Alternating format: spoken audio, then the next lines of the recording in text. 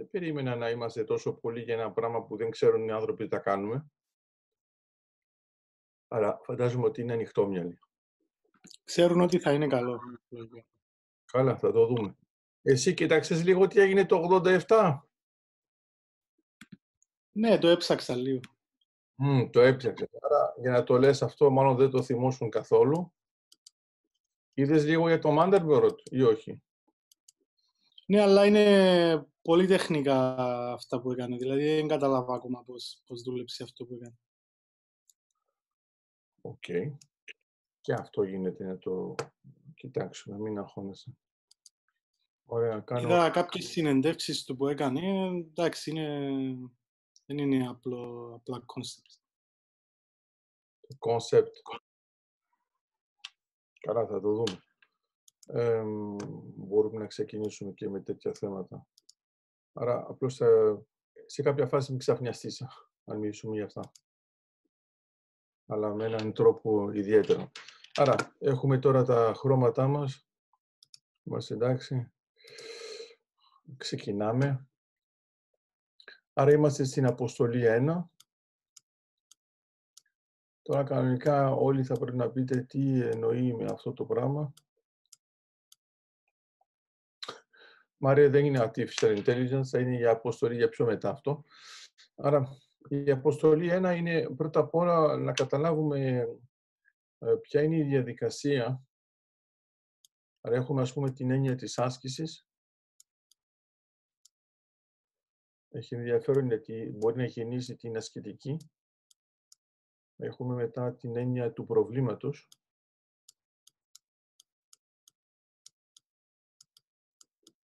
Άρα αυτό μπορεί να γεννήσει την έννοια της προβληματικής. Και η αποστολή είναι πιο πέρα.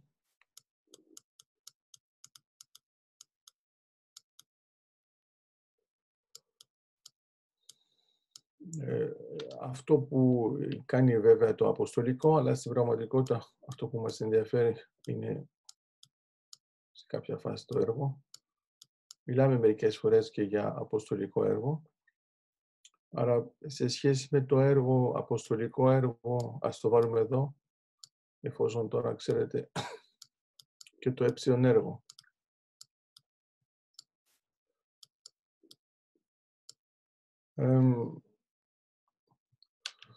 εδώ μπορούμε να πούμε ότι χρειάζεται, ας πούμε, τεχνική ή άμα θέλετε τακτική για τις ασκήσεις. Γι' αυτό συχνά οι άνθρωποι προτιμούν τις ασκήσεις από το πρόβλημα. Εδώ θα είναι το επιχειρησιακό και εδώ θα είναι το στρατηγικό. Άρα εδώ έχουμε έννοιες. Αυτό μπορεί να είναι σύντομο, Αυτό μπορεί να είναι για μέσο διάστημα. Εσέας τάξης και αυτό μπορεί να είναι μεγάλο. Μιλάμε για τις διάρκειες. Αυτό σημαίνει τι, σημαίνει ότι ε, για να κάνουμε το σύντομο σε επίπεδο τακτικό και σε μία άσκηση ουσιαστικά χρειαζόμαστε μόνο τεχνική.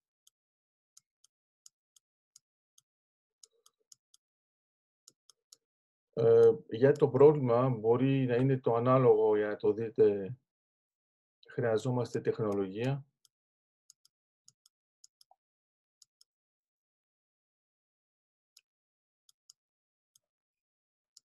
Και για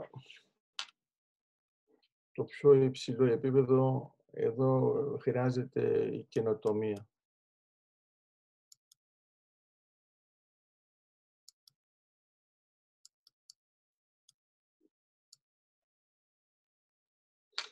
Άρα, ας πούμε, ακόμα και το παράδειγμα που λέγαμε τώρα με τον Μάριο, έχει ενδιαφέρον γιατί ε, το δίνω σαν παρένθεση. Όσοι καταλάβουν, καταλάβουν. Μάριο, εσύ θα έχεις άσκηση να το δεις λίγο πιο βαθιά και άμα είναι τα συζητάμε και μαζί μόνοι μας. Αλλά ε, το αρχικό πλαίσιο Ε, ας, ας γράψουμε λοιπόν το Mandelbrot.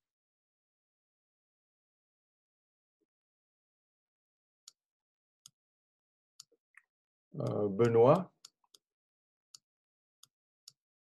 για τους αγαπημένους, είναι αυτός που θα επινοήσει τη λέξη ε, fractal.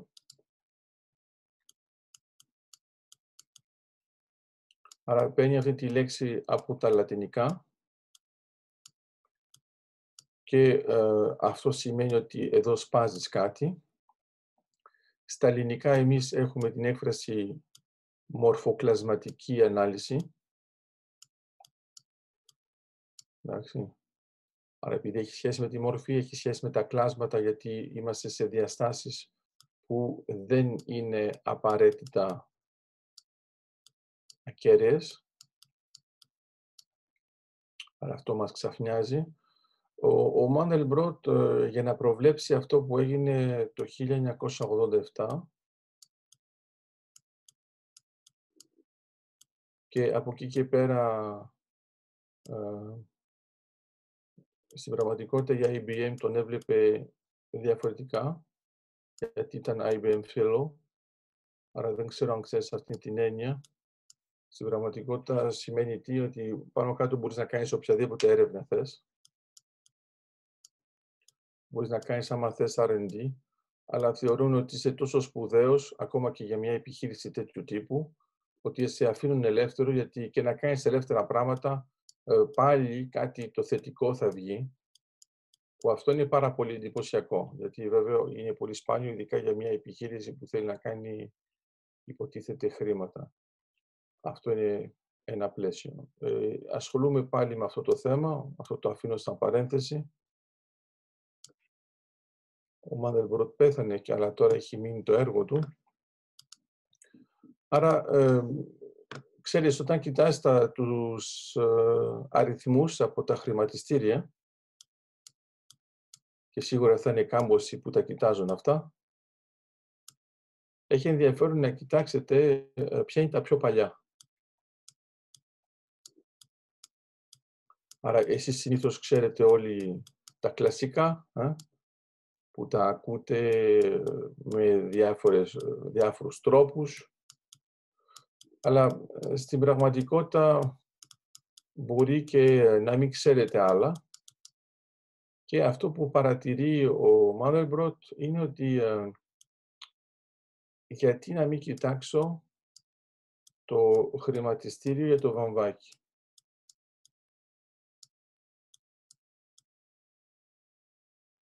Μάριο, πες μου ότι δεν έπεσες ξέρω τώρα.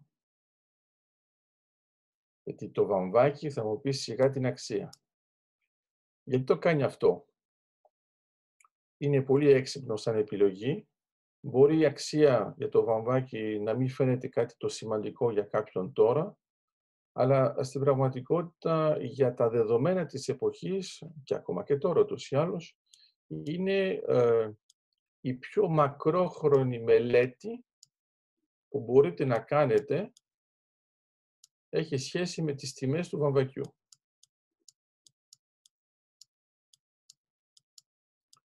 Άρα, αυτές οι τιμές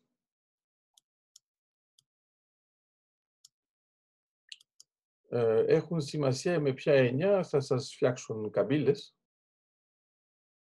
Εντάξει, είναι αυτά τα χαρακτηριστικά που τις βλέπετε, αυτές τις καμπύλες και λέτε είναι ό,τι να είναι, αλλά τελικά σας θυμίζουν χρηματιστήριο. Και αυτό που θα κοιτάξει ε, ο Mandelbrot θα είναι ειδικά οι καταστροφές.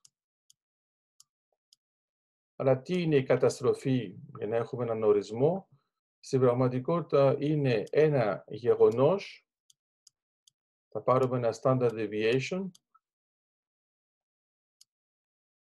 Άρα έχουμε μια τυπική απόκληση στα ελληνικά, η οποία δεν έχει ομαλότητα, άρα ε, φανταστείτε, ας πούμε, Μάρια, εσύ τι τυπική απόκληση θεωρείς ότι είναι παράξενη; Δύο, τρία, τέσσερα, πέντε, πόσο; Okay. Στο βαμβάκι. Γενικά. Το σκέφτεσαι. Πέντε, ξέρω. Πέντε, θυμάσαι κάθε φορά πότε γίνεται ένα standard deviation 5.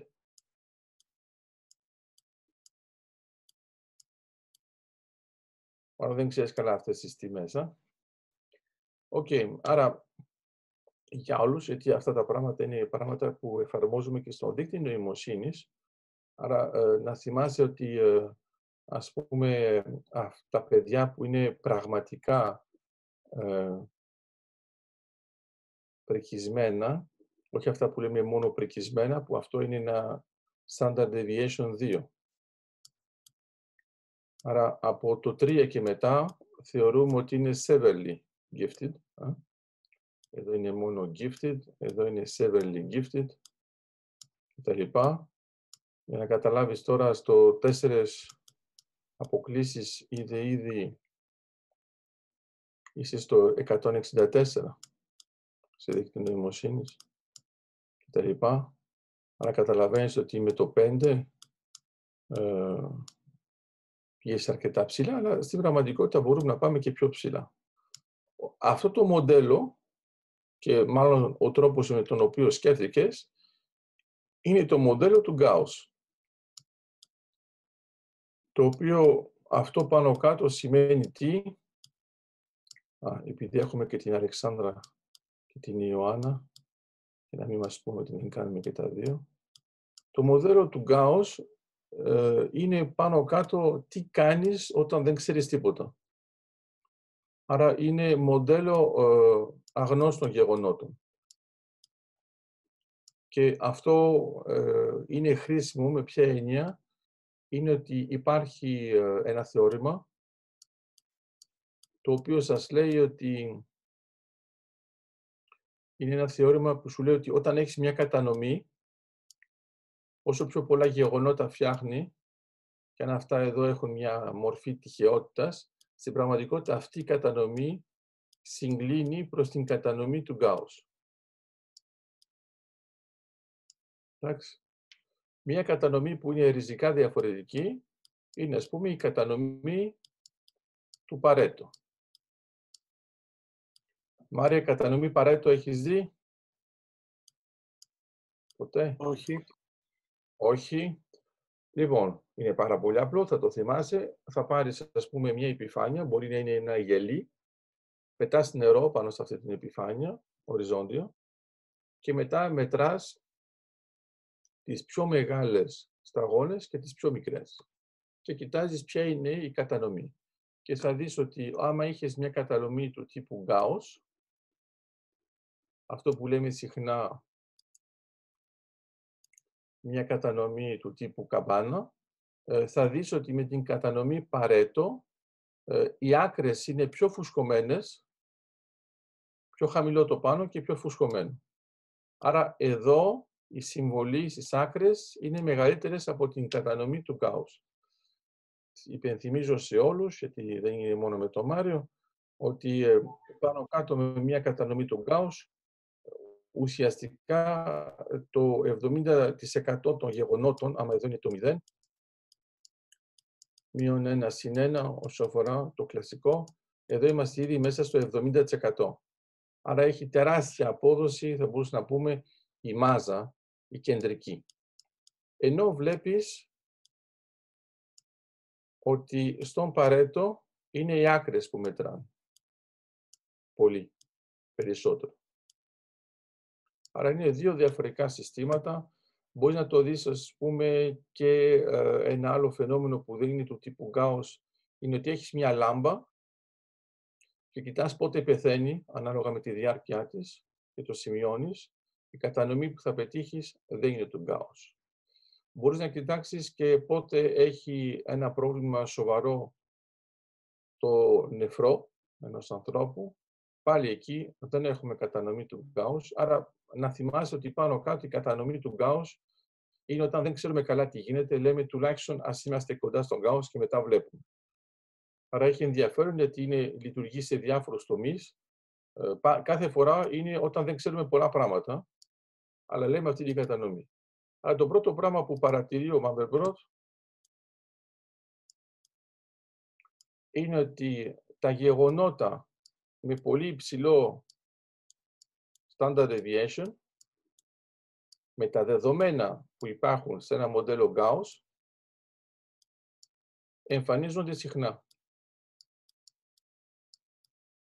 Άρα θα μου πεις συχνά πόσο βαριά συχνά, πιο συχνά.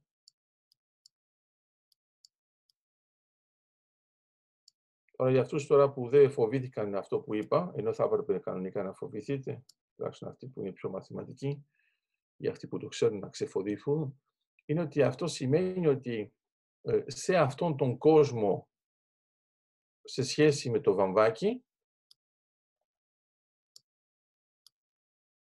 αυτό παρατηρεί,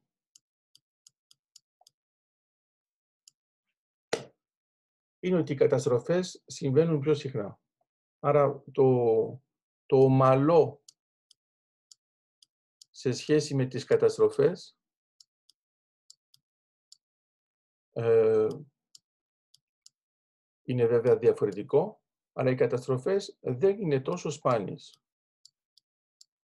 Όχι τόσο σπάνιες. Αυτό είναι ένα τεράστιο θέμα. Είναι ο πρώτος που το εντόπισε. Είναι βέβαια ο πρώτος που ασχολήθηκε πραγματικά με αυτά τα δεδομένα. Αυτός είχε έρθει από έναν άλλον τομέα στην πραγματικότητα. Είχε τελειώσει το, το Πολυτεχνείο στη Γαλλία. Αυτός ασχολιόταν με, θα μπορούσαμε να πούμε, με καθαρά μαθηματικά. Συνέχισε χάρη στον θείο του το έργο του Φατού. Συνέχισε το έργο του Ζουλιά.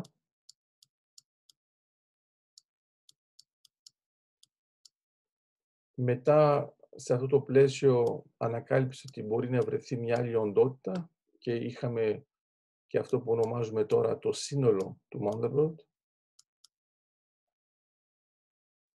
Άρα γρήγορα κάναμε δημοσιεύσεις σε αυτόν τον τομέα ε, από τις αρχές για τον Mandelbrot. Άρα ουσιαστικά είναι ένας κόσμος εντελώς διαφορετικός, που είναι ο κόσμος ο μη γραμμικός, και ε, σε αυτό το πλαίσιο σκεφτόταν διάφορες εφαρμογές. Μια παρατήρηση είχε πάρει, ε, ας πούμε, τον χάρτη της Βρετανίας, ας το πούμε ότι είναι έτσι, και προσπαθούσε να δει το μήκος. Και παρατήρησε ότι άμα πάρεις έναν διαβήτη, ο οποίος έχει ένα μέγεθος, σαν άνοιγμα, και μετά πάρεις έναν που έχει πιο μικρό και πιο μικρό και πιο μικρό, τελικά αυτό είναι προς το άπειρο σε μήκος. Αλλά ήταν παράξενο γιατί όλοι θεωρούμε ότι όταν πάρεις μια ακτογραμμή δεν μπορεί να είναι παράξενος σε μήκος. Είναι πολλοί που ασχολούνται με τα θέματα της ΑΟΣ, αλλά βέβαια είναι εντελώς άσχετοι για αυτά τα πράγματα. Υποτίθεται ότι τα ξέρουν, αλλά αδιαφορούν. Θα είναι σημαντικό και για τις γραμμές βάσης. Αλλά άμα το κοιτάξετε με αυτόν τον τρόπο, καταλαβαίνετε ότι έχετε ένα πρόβλημα συγκεκριμένο και ουσιαστικά όλο αυτό που λέω τώρα είναι πώς θα γεννηθεί ε, και αυτό το έχουμε βάλει και στα advice, είναι, θα κάνει αυτά που λέμε τα objet fractal, αλλά τα αντικείμενα που είναι fractal,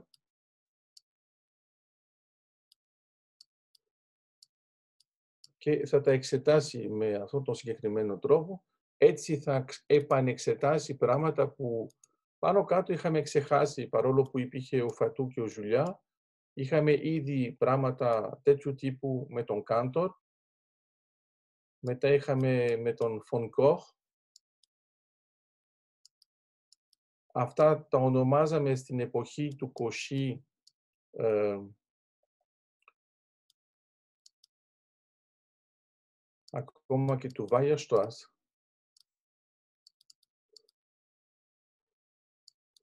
τα, τα ονομάζαμε πιο πολύ ε, ε, τερατουργήματα ουσιαστικά όσο αφορά τις συναρτήσεις και σιγά σιγά καταλάβαμε ότι ε, δεν ήταν τόσο σπάνιο όσο πιστεύουμε. Εδώ είναι κλασικά παραδείγματα Άρα θυμάστε ότι το σύνολο του Mandelbrot ε, φτιάχνεται με μία βάση, μετά παίρνεις έναν γεννήτορα. Αυτός ο γεννήτορας πάνω κάτω τι σημαίνει, σημαίνει ότι κόβεις στα τρία το αρχικό και σβήνεις στο κεντρικό.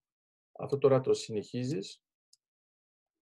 Θα σου κάνει τη λεγόμενη σκόνη του κάντορ όταν θα πας στο άπειρο, αλλά το πιο εντυπωσιακό είναι ότι βέβαια το σύνολο του Κάντορ είναι ισόμορφο με τους πραγματικούς αριθμούς, άρα παρόλο που βλέπεις υποτίθεται μόνο σκόνη και έχεις και μια διάσταση η οποία είναι λογάριθμος του 2 διά λογάριθμος του 3, άρα αυτή η διάσταση δεν είναι ακέραια, ούτε βέβαια φυσική. Εδώ θα είναι το ανάλογο, θα πάρεις πάλι Α, μια εξήγηση εδώ είναι ότι οποιοδήποτε σημείο είναι ε, σημείο συσσόρευσης. Αλλά το λέω για αυτούς που μπορεί να μην ξέρουν τι είναι σημείο συσσόρευσης, είναι ότι όταν παίρνεις ένα σύνολο, οτιδήποτε και να είναι, ε, το σημείο συσσόρευσης είναι ότι άμα πάρεις έναν ε, δίσκο, οποιοδήποτε και να είναι αυτός ο δίσκος, με οποιοδήποτε μέγεθος, όπου και να το πάρεις και έχεις δικαίωμα να το πας όσο και πιο μικρό είναι, τότε ε, άμα υπάρχει δίπλα ένας γείτονας που ανήκει στο σύνδρο, μπορείς να το πεις. Ας πούμε, όταν έχετε μια συνεχόμενη καμπύλη, ισχύει. Άμα πάρετε τώρα σημεία, ροζαγραφίζω σημεία τυχαία, μόλις θα πάρετε ε, στοιχεία που θα είναι με κύκλους πιο μικρούς από την ζώνη επαφής των άλλων, τότε αμέσως θα το χάσετε, άρα δεν θα έχετε αυτή την ουσιαστικά ιδιότητα του σημείου συσσόρευσης. Είναι χάρη σε αυτό το σημείο συσσόρευσης, μάλλον να το κάνω λίγο καλύτερα. Γιατί μπορεί και να υπάρχει ενδιαφέρον. Άρα παίρνετε ένα πράγμα έτσι, μετά τι κάνετε; Το χωρίζετε στα τρία, είπαμε, και θα συνεχίσετε να το χωρίζετε στα τρία. Το κάθε κομμάτι. Άρα βλέπετε εδώ και ένα ωραίο παράδειγμα, αν θέλετε, ε, σημείο έναρξης και σημείο, ε, εδώ θα είναι η έναρξη, εδώ θα είναι το σημείο αναφοράς, από εδώ και πέρα, και αυτό μοιάζει σαν μοτίβο με αυτή τη σχέση που είχαμε δει.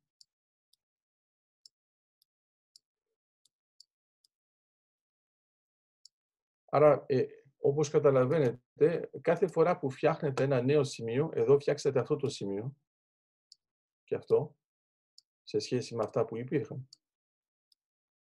Τα σημεία που φτιάχνετε, τα καινούρια, θα αποτελέσουν σημεία συσσόρευσης. Άρα είναι πάρα πολύ εντυπωσιακό, γιατί στην αρχή νομίζουμε ότι πάνω κάτω βγάζεις, ε, τελικά βγάζεις, αλλά αυτά που αφήνεις, τα αφήνεις να είναι αρκετά πυκνά, έτσι ώστε να έχεις έναν ισομορφισμό με τους πραγματικούς. Ξανά έρχομαι λοιπόν ε, στον Φον Κοχ που ήταν δίπλα. Αυτός θα κάνει το ανάλογο και θα το πάρει στα τρία και θα πάρει εδώ ένα τρίγωνο και εδώ θα έχουμε μια διάσταση η οποία θα είναι λογάριθμος του 4 δια λογάριθμος του 3. Και θα συνεχίσετε, στο επόμενο στάδιο θα σας το βάλω λίγο με χρώμα διαφορετικό. Θα έρθει εδώ η γωνία, εδώ θα έρθει εδώ μια άλλη γωνία, εδώ μια άλλη γωνία και εδώ μια άλλη γωνία. Και στο επόμενο στάδιο βέβαια θα έχετε ακόμα περισσότερες γωνίες, δηλαδή τρίγωνας στην πραγματικότητα, παντού. Και αυτό που γίνεται γενικότερα με τα φράκταλ είναι ότι ε, έχουν ένα μήκος που είναι άπειρο. Αλλά έχει ενδιαφέρον γιατί μπορεί να έχουν ε, μία επιφάνεια η οποία αυτή να μην είναι άπειρη. Αυτό οφείλεται στο γεγονός ότι πάνω κάτω όταν έχετε μια συνάρτηση, ακόμα και να πάρετε μια συνάρτηση του τύπου Weierstrass, στην πραγματικότητα δεν έχετε παραγώγηση για οποιοδήποτε σημείο. Άρα, τα λέω λοιπόν όλα αυτά για να καταλάβετε ότι όλα αυτά ε, και άμα διαβάσετε αυτό το βιβλίο, η Fractal Object, άμα το έχετε στα αγγλικά, ε, είναι μια καλή εισαγωγή σε αυτό το τομέα. Ε, το, το συστήνω βέβαια και στο advice, το λέω και πιο ειδικά βέβαια για τον, ε, για τον Μάριο. Αν θες να, να έχεις κάτι που να έχει νόημα και μετά να δεις. Και αυτό που είναι εντυπωσιακό είναι ότι χάρη σε αυτές εδώ τις τεχνικές ε, κατάφερε να προβλέψει το φαινόμενο που θα γινόταν το 87 μην ανησυχείς, Μάρια, τότε κανένας δεν τον πίστεψε, αλλά μετά όταν έγινε, ε, μετά παρακολούθησαν ακόμα περισσότερο ε, τι έχει κάνει. Ε, έχει κάνει και ένα, ένα TED, άμα θέλετε να δείτε λίγο πιο σύντομα και να τον χαρείτε και ζωντανά. Πρόλαβε να το κάνει αυτό, άρα σας το συστήνω. TED νομίζω ότι είναι κλασικό σε όλους, αλλά δεν είναι να το εξηγήσω.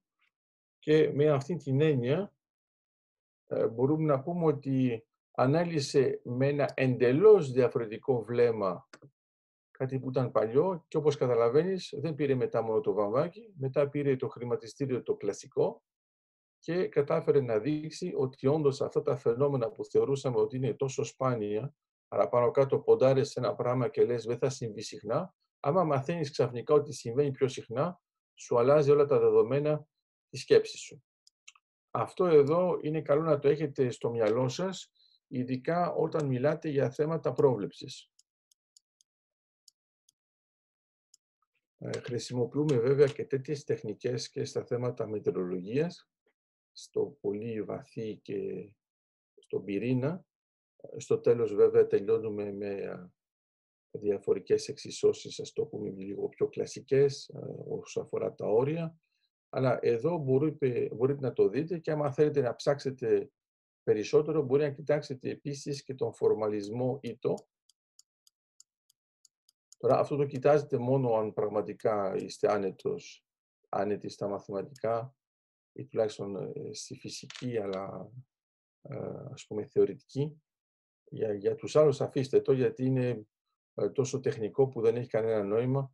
Κοιτάξτε πρώτα τα προηγούμενα, γιατί θα είναι ένας φορμαλισμός που θα μας επιτρέψει να έχουμε δεδομένα που δεν μπορούν να βρουν κλασικά πράγματα του τύπου Ρίμαν ή ακόμα και Λεμπέγκε. Άρα είναι καλό να τα έχετε στο μυαλό σας ότι υπάρχουν.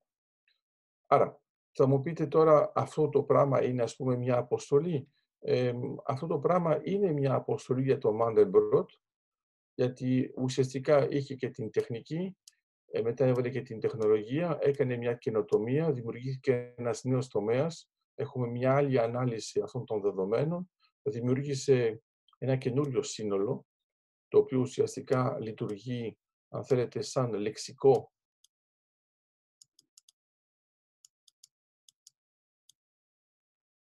Δίκαια, άμα τους στείλεις στο section μαθηματικά, θα μπορούν να βρουν από μόνοι τους ε, τη λέξη Mandelbrot και θα υπαρκεί. Και το λεξικό στην πραγματικότητα είναι ε, το λεξικό από τα σύνολα Ζούλια. Άρα Ζούλια και Φατού είναι πολλά σύνολα, άπειρα σε πλήθος, οργανώνονται όμως με κάποιον τρόπο και μπορούμε να πούμε ότι όταν το σημείο έναρξης από ένα σύνολο Ζούλια ανήκει στο σύνολο Mandelbrot, τότε το σύνολο ζούλια μοιάζει με σκόνη του κάντορ. Αλλιώς είναι συμπαγές. Έξω είναι, έξω είναι συμπαγές, μέσα είναι... Όχι, συγγνώμη. Έξω είναι σαν σύνολο του κάντορ, δηλαδή σκόνη του κάντορ, όταν είναι έξω από το μάνδελο και όταν είναι μέσα είναι συμπαγές. Και εδώ έχετε μια σχέση διοικότητας μεταξύ των δύο. Άρα αυτά είναι τα δεδομένα που ε, μπορεί να σας ξαφνιάζει Άρα εμείς τα, τα χρησιμοποιούμε αυτά τα δεδομένα με έναν, θα μου πείτε, παράξενο τρόπο για πολλά εθνικά θέματα.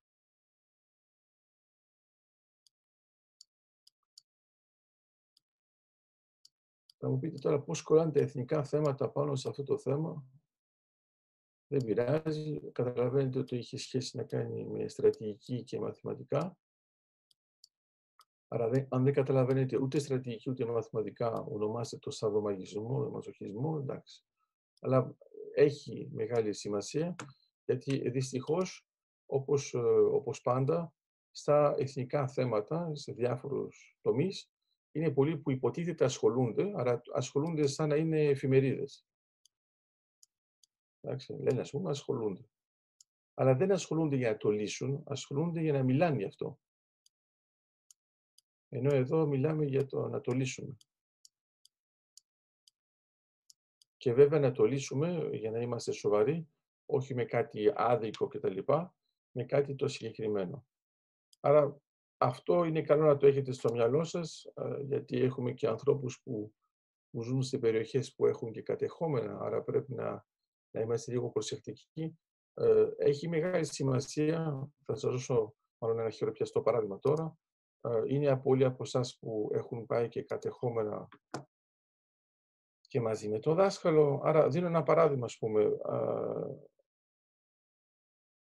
άμα μιλάτε με έναν ε, Ελλαδίτη που δεν έχει πάει ποτέ στην Κύπρο, υπάρχει αυτό.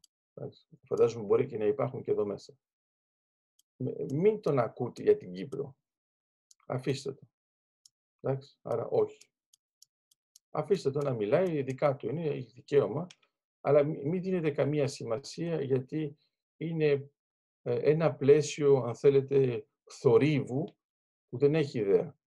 Μετά τώρα παίρνετε ε, έναν Κύπριο, έναν Έλληνα της Κύπρου, εδώ είχαμε Ελλαδίτη, και αυτόν εδώ τον κοιτάζετε, είναι βέβαια στην Κύπρο, αλλά αυτός δεν έχει πάει στα κατεχόμενα.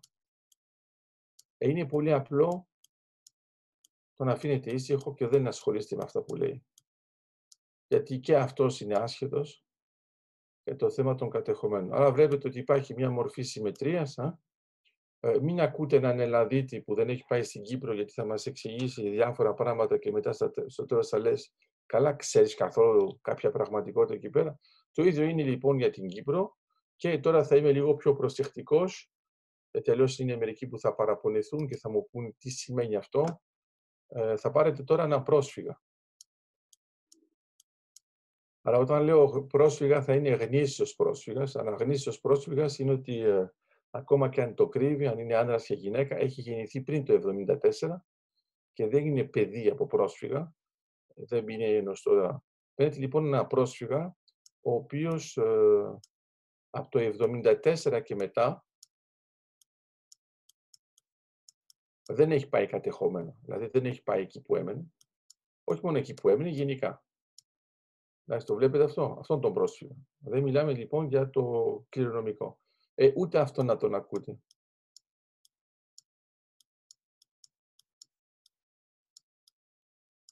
Εδώ είναι λίγο πιο θλιβερό, γιατί αυτός κανονικά είχε πάει εδώ.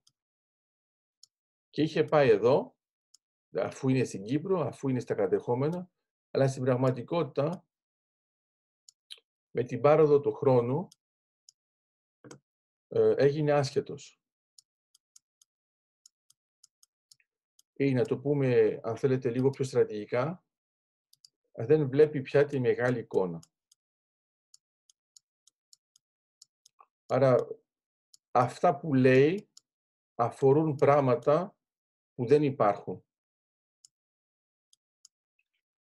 όχι που δεν υπάρχουν πια, μην το βλέπετε με αυτόν τον τρόπο, αλλά νομίζω ότι όλοι και ειδικά οι πρόσφυγες ε, που έχουν έρθει μαζί μου στα κατεχόμενα, όλοι έχουν δει ότι αυτό που είδαν ε, δεν ήταν αυτό που είχαν στο μυαλό τους. Και δυστυχώς αυτοί βέβαια είναι για μένα τα πετυχημένα παραδείγματα γιατί κατάφεραν να κάνουν ε, μία πολυκυκλικότητα άρα να ξεπεράσουν κάποιες δυσκολίες και θα σας το κάνω έτσι για να μην νομίζετε ότι αυτό ήταν άσχετο.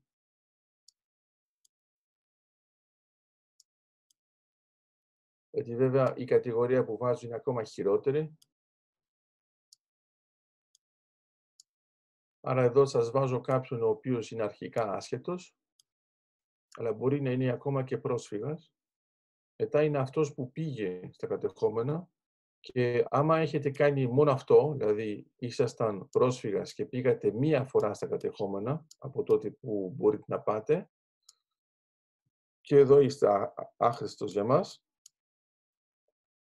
Είναι μόνο αυτό το μοτίβο που είναι χρήσιμο. Άρα η, η σωστή ερώτηση δεν είναι αν πήγες κατεχόμενα πριν κάνετε οποιαδήποτε συζήτηση εδώ. Είναι πόσες φορές πήγες. Άμα αυτός ο αριθμός είναι μεγαλύτερος από δύο, τότε μπορεί να συζητάτε. Μάρια, έχεις πάει πάνω από δύο φορές τα κατεχόμενα; Φυσικά.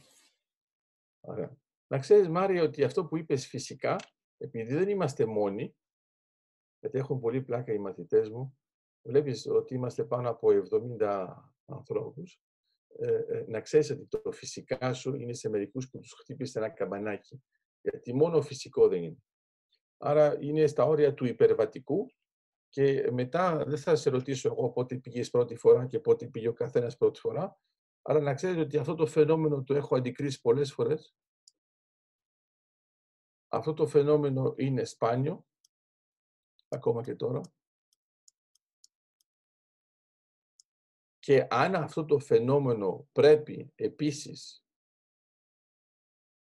να παράγει αποστολή, εδώ να δείτε πόσο σπάνιο είναι. Γιατί θυμάστε τι λέει ο δάσκαλος για τις γενοκτονίες. Αυτός που ασχολείται με τη γενοκτονία του, εντάξει, ε, δεν ασχολείται με τις γενοκτονίες. Άρα να ξέρετε ότι εδώ είναι ακριβώς το ίδιο. Αυτός που πήγε στα κατεχόμενα και πήγε μόνο επειδή ήταν πρόσφυγας και πήγε στο σπίτι του και είδε το σπίτι του και το ξαναείδε, μετά έκλεψε στο σπίτι του και ξαναγύρισε και μετά δεν θέλει να ξαναπάει ή μπορεί και να πήγε δεύτερη φορά, αλλά μετά το έχεις συγχαθεί, να ξέρετε ότι αυτός δεν είναι κάποιος αγωνιστής που θα ελευθερώσει την Κύπρο. Είναι απλώς ένας περαστικός που αν ε, δεν καταφέρει να εξελιχθεί και δεν καταφέρει να μπει σε ένα πλαίσιο αποστολής, ε, πολύ απλά ε, θα ζήσει, θα κάνει τα δικά του, θα πει ότι ήταν εκεί και θα τελειώσει η διαδικασία όπως έγινε όταν είχαμε την τουρκοκρατία στην Ελλάδα. Σας υπενθυμίζω ότι είχαμε 400 χρόνια. Είναι πάρα πολλοί που έζησαν κανονικότατα, παντρεύτηκαν κανονικότητα, απέκτησαν παιδιά κανονικότητα, κάναν τις δουλειές τους κανονικότατα, πέθαναν κανονικότητα και δεν ε, συνέβαλαν σε κανέναν αγώνα. Να ξέρεις ε, τι εννοώ με αυτό με ελπομένη, ούτε σε έψιλον έργο. Ούτε έψιλον έργο. Τίποτα. Απολύτως τίποτα. Απλώς ήταν εκεί, δηλαδή ήταν κάτοικοι. Αυτό λοιπόν θα μας κάνει μια διαφοροποίηση ε, έγραψα και μερικά κείμενα πάνω σε αυτό το θέμα. Ε, είναι καλό να σκέφτεστε, επειδή τώρα το συζητάμε με τους μαθητές και ιδιαίτερα και με την προκοπία για το κημητήριο, νέα προκοπία, πέλα βάης, ε, ε, Άγιο είναι ότι αυτό που κάναμε, και είναι αρκετοί από εσάς που συμμετείχαν σε αυτό, επειδή και έχουμε κανένα βίντεο για όσους δεν το ξέρουν, ε, όταν βάλαμε την πινακίδα για το κημητήριο στο τρίκομο, ο Ανδρέας είναι εδώ μέσα ή όχι; Γιατί είναι χάρη στον Ανδρέα ή όχι. Νομίζω ότι είναι. Νομίζω ότι είναι, ωραία. Λοιπόν, άρα επειδή είναι από την περιοχή και την καταγωγή του Ανδρέα το τρίκομο, στο τρίκομο βάλαμε την πρώτη πινακίδα πάνω σε κημητήριο που δεν είχε. Το συζητήσαμε, το κοιτάξαμε πολύ προσεκτικά και για το θέμα της ονομασίας, γιατί είχαν αλλάξει και οι μερικές ονομασίες. Και μετά να δούμε πώς αυτό λειτουργήσε ε, σε πλαίσιο, αν θέλετε, ιστορικότητας. Ότι πρέπει πάντοτε να σεβόμαστε αυτό που έλεγαν οι παλιοί και πώς το ονόμαζαν, αλλά μετά πρέπει να, να καταλάβουμε ότι είναι μια μορφή αντίστασης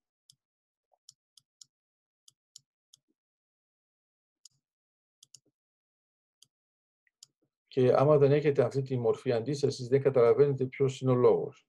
Άρα, Μπορεί βέβαια να υπάρχει και η κίνηση το να διορθώσουμε τάφους. Okay. Αυτό μπορείς να του στείλεις και υλικό σε αυτούς που δεν έχουν. Ε, μπορεί υπάρχει και άλλη κίνηση, είναι να υπάρχει μια καταγραφή των τάφων. Εντάξει.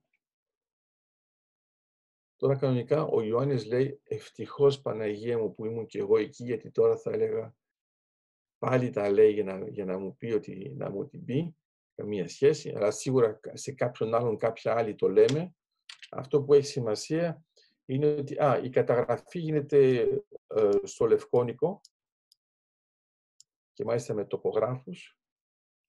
Θα είναι καλό, το λέω τώρα έτσι ενδιάμεσα, αυτοί που θέλουν πραγματικά να, να κάνουν πράγματα μαζί μας, ειδικά ε, ε, μετά το θέμα της πανδημίας, βέβαια, τώρα αυτή την περίοδο θα είναι λίγο δύσκολο, θα κάνουμε μερικά πράγματα, αλλά όταν λέω πρακτικά, είναι ε, δώστε μερικά στοιχεία,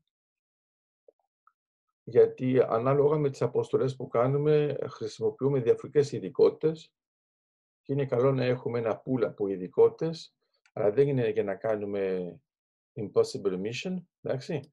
Είναι απλώς για να ξέρουμε μερικά δεδομένα.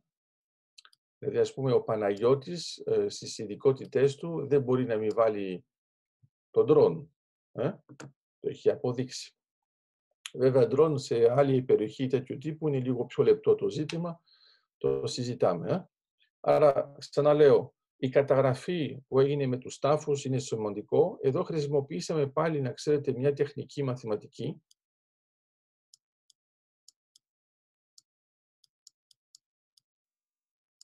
Άρα πάνω κάτω τι γίνεται; Πάτε σε ένα κημητήριο, έχετε διάφορους τάφους ας πούμε, εντάξει, διάφορα σημεία, είναι μερικοί που δεν έχουν τίποτα, δεν, δεν ξέρετε τι είναι. Και άρα αυτό το κάναμε, αν θέλετε, σχεδόν πειραματικά στο Λευκόνικο και ε, είπαμε συστηματικά στο Λευκόνικο είχαν φάει μια τεράστια σφαλιάρα γιατί ήθελαν να κάνουν κάτι το ολικό Άρα είχαν προετοιμαστεί να πάνε με πολλά λεωφορεία και τους σταμάτησαν, δεν άφησαν κανέναν και μετά το συζητήσαμε σε επίπεδο στρατηγικής και είπαμε ότι θα ήταν καλό να γίνονται από απομονωμένες μονάδες και τελικά τι έγινε. Ε, έγινε η διόρθωση του κημητηρίου. Μπορεί να υπάρχουν και ε, ε, Έλληνες της Κύπρου τώρα ακόμα και που μας ακούν ή που θα μας ακούσουν πιο μετά που είναι από εκεί για να το χαρούν. Αλλά ταυτόχρονα έγινε η καταγραφή και στην καταγραφή τι ζητήσαμε, ε, θα σας θυμίσει άλλα πράγματα που κάνουμε τεχνικά, είναι ότι άμα θυμόταν κάποιος, ας πούμε, τον τάφο, ξέρω εγώ, του πατέρα του, της μάνας του, ε, του λέγαμε αν θυμάται τους διπλανούς. Εντάξει. Άρα, για τον Μάριο, τον Λάμπρο, τον Σπύρο, V4. Εντάξει. Θα μου πείτε και ποιο είναι το όφελος. Είναι πάρα πολύ απλό. Να ξέρετε ότι τώρα, δηλαδή μετά το 2003, για να είμαστε συγκεκριμένοι, στο νεκρο... στο Λευκόνικο, έχουμε περισσότερα ονόματα από αυτά που ξέραμε το 1974. Πώς σας φαίνεται αυτό; Χάρη σε αυτόν τον αλγόριθμο. Διότι τι έγινε, είναι μερικοί τάφοι που εντοπίστηκαν με έναν τρόπο, αν θέλετε, πολύ όμορφο, άμα το σκεφτείτε ορθολογικά, γιατί μπορεί ο άλλος να ήταν πιο πέρα ο τάφος του, ή ακόμα και εδώ, άμα θέλετε, να το βάλω εδώ, και αυτός θυμόταν αυτούς. Βέβαια δεν θυμόταν αυτόν, γιατί αυτό το διαγώνια συχνά δεν το θεωρούμε ότι είναι σοβαρό. Δεν έχουμε συνηθίσει γιατί έχουμε περάσματα. Άρα κοιτάζουμε πιο πολύ αυτός που είναι δίπλα. Αλλά το κλασικό κομμάτι που θυμούνται οι άνθρωποι είναι αυτό, το οριζόντιο. Σπάνια θυμούνται το κάθετο. Σπάνια. Γιατί το κάθετο στην πραγματικότητα έχει σχέση με διάφορους ε, ε, τομείς, άρα δεν πηγαίνουμε από εκεί. Όμως, κάνοντας αυτή την τεχνική, τελικά βρήκαμε περισσότερα ονόματα. Κανονικά πρέπει τώρα να χαίρεται και ο Λάμπρος, να λέει Αναγία μου, δηλαδή η πληροφορική μπορεί να βοηθήσει σε αυτό το τομέα, άρα είναι μια εφαρμογή πολύ κλασική, ε, με την έννοια ότι έχετε ας πούμε μονάδες. Τώρα, άμα σας ενοχλεί η λέξη τάφωση, έχω πολύ μικρούς παθητές που παρακολουθούν και φοβούνται οι γονείς ε, αυτά που λέει ο δάσκαλος. Είναι πολύ απλό, πρώτα απ' όλα να μην φοβούν οι γονείς, γιατί οι πιο μικροί αντέχουν και συχνά περισσότερο από εσάς. Και δεύτερον, άμα θέλετε, βάλτε ότι είναι, ξέρω εγώ, καθίσματα, βάλτε ότι είναι ό,τι θέλετε. Άρα, άμα το δείτε με αυτόν τον τρόπο, υπάρχει κάτι που είναι πολύ ωφέλιμο σε στρατό, είναι η επανάληψη του σήματος. Δηλαδή, αυτός εδώ, σε αυτήν εδώ τη γραμμή που ζωγράφισα ήδη, αυτός εδώ ε, τον θυμούνται δύο.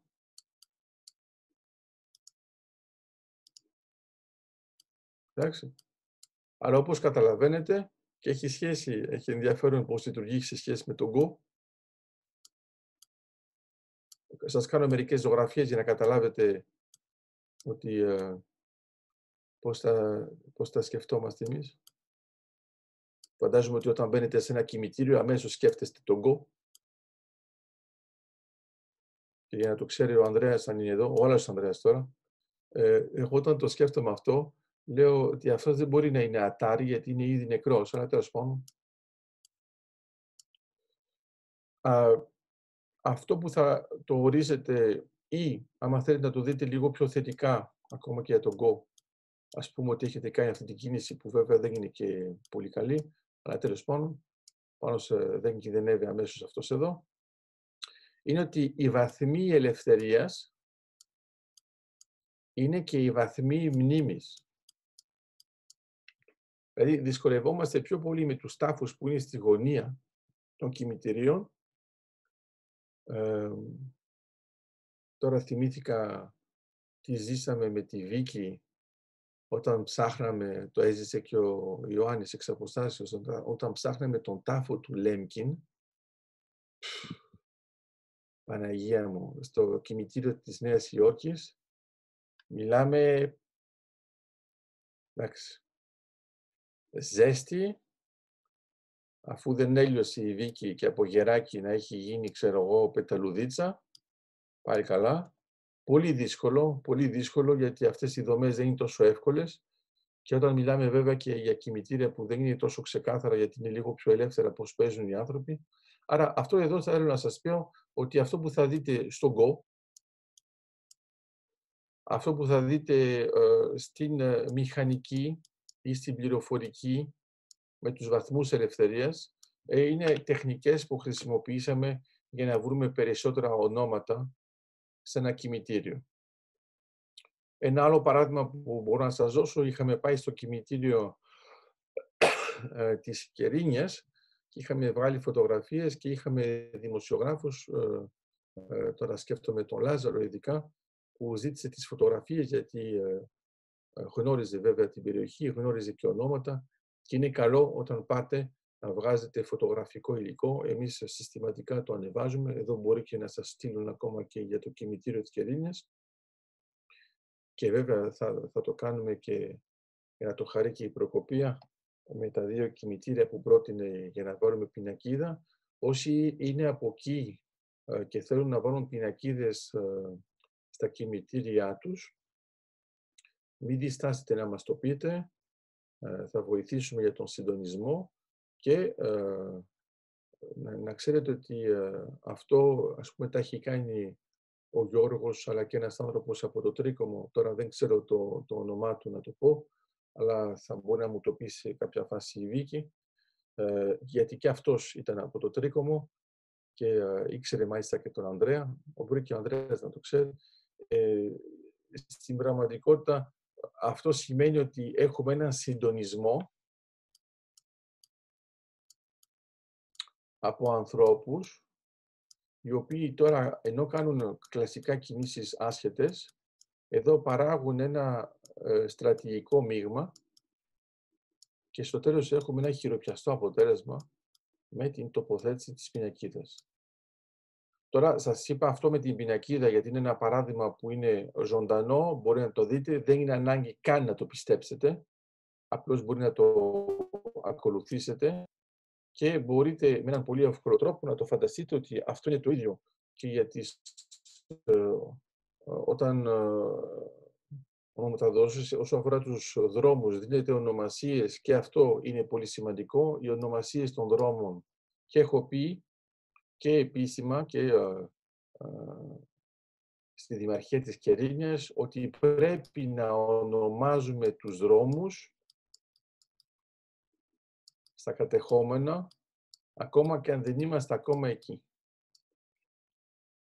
Και αυτό ακόμα καλύτερα να καταγράφεται και από ε, Google Map. Δηλαδή να υπάρχει πρόταση και να λέγεται αυτό το πράγμα. Το λέω τώρα και για τους ανθρώπους, ε, φαντάζομαι ο Μάριος είναι πιο άνετος σε αυτά. Να ξέρεις, ε, ε, Μάριε, ο, ο Ανδρέας έχει κάνει πολλή δουλειά από την δικιά του την πλευρά, δηλαδή προς Άγια Νάπα και υπάρχουν πολλά στοιχεία, μάλιστα θα έπρεπε να εγκαινιάσουμε και πράγματα μαζί, αλλά τώρα θα τα κάνουμε λίγο διαφορετικά, φαντάζομαι, ή πιο μετά. Έχει μεγάλη σημασία γιατί εδώ είναι η νοημοσύνη και η μνήμη που συνδυάζονται και να παράγουν ένα έργο το οποίο να είναι χειροπιαστό επειδή είχα και ένα μήνυμα από την Έφη που μου είπε ότι ήταν και αρχαιολόγος, ε, όχι ήταν, είναι τέλος αλλά ήταν αρχαιολόγος στην Κύπρο τέσσερα χρόνια και αυτό μπορεί να βοηθήσει για να έχουμε δεδομένα, γιατί βέβαια ε, όταν δίνουμε ονόματα είναι καλό να ξέρουμε καλά την περιοχή και την ιστορία, άρα σε αυτό μπορεί ε, και η Έφη φαντάζομαι να βοηθήσει πρακτικά. Βέβαια, αυτό δεν σημαίνει ότι πρέπει αναγκαστικά να πάνε όλοι εκεί πέρα, όσοι το αντέχουν, όσοι το θέλουν. Έχουμε και ανθρώπους που είναι πιο πολύ από τα εργοτάξια και τους αρχιτέκτονες, ε, τοπογράφους. Όλα αυτά όμως γίνονται. Άρα προσπαθώ να σας πω το εξής, είναι ότι ε, όταν πάτε απέναντι και ξαναέρχεστε, είναι πιο ίχνος αφήσατε. Άρα σίγουρα τώρα θα έχω, ξέρω εγώ, την Ηρώ και το Χαράλαβο τον Στέλιο θα λένε, καλά, για μας δεν θα πεις τίποτα. Θα πω, θα πω, ρε, θα πω, θα πω. Εφόσον μιλάμε για αποστολές. Αλλά το ίχνος, το ίχνος ε, μπορεί να είναι, ε, αν θέλετε, διπλό. Πρώτα απ' όλα υπάρχει το, ίχνο, το ίχνος της μνήμης. Δηλαδή κάνουμε κάτι. Π.χ.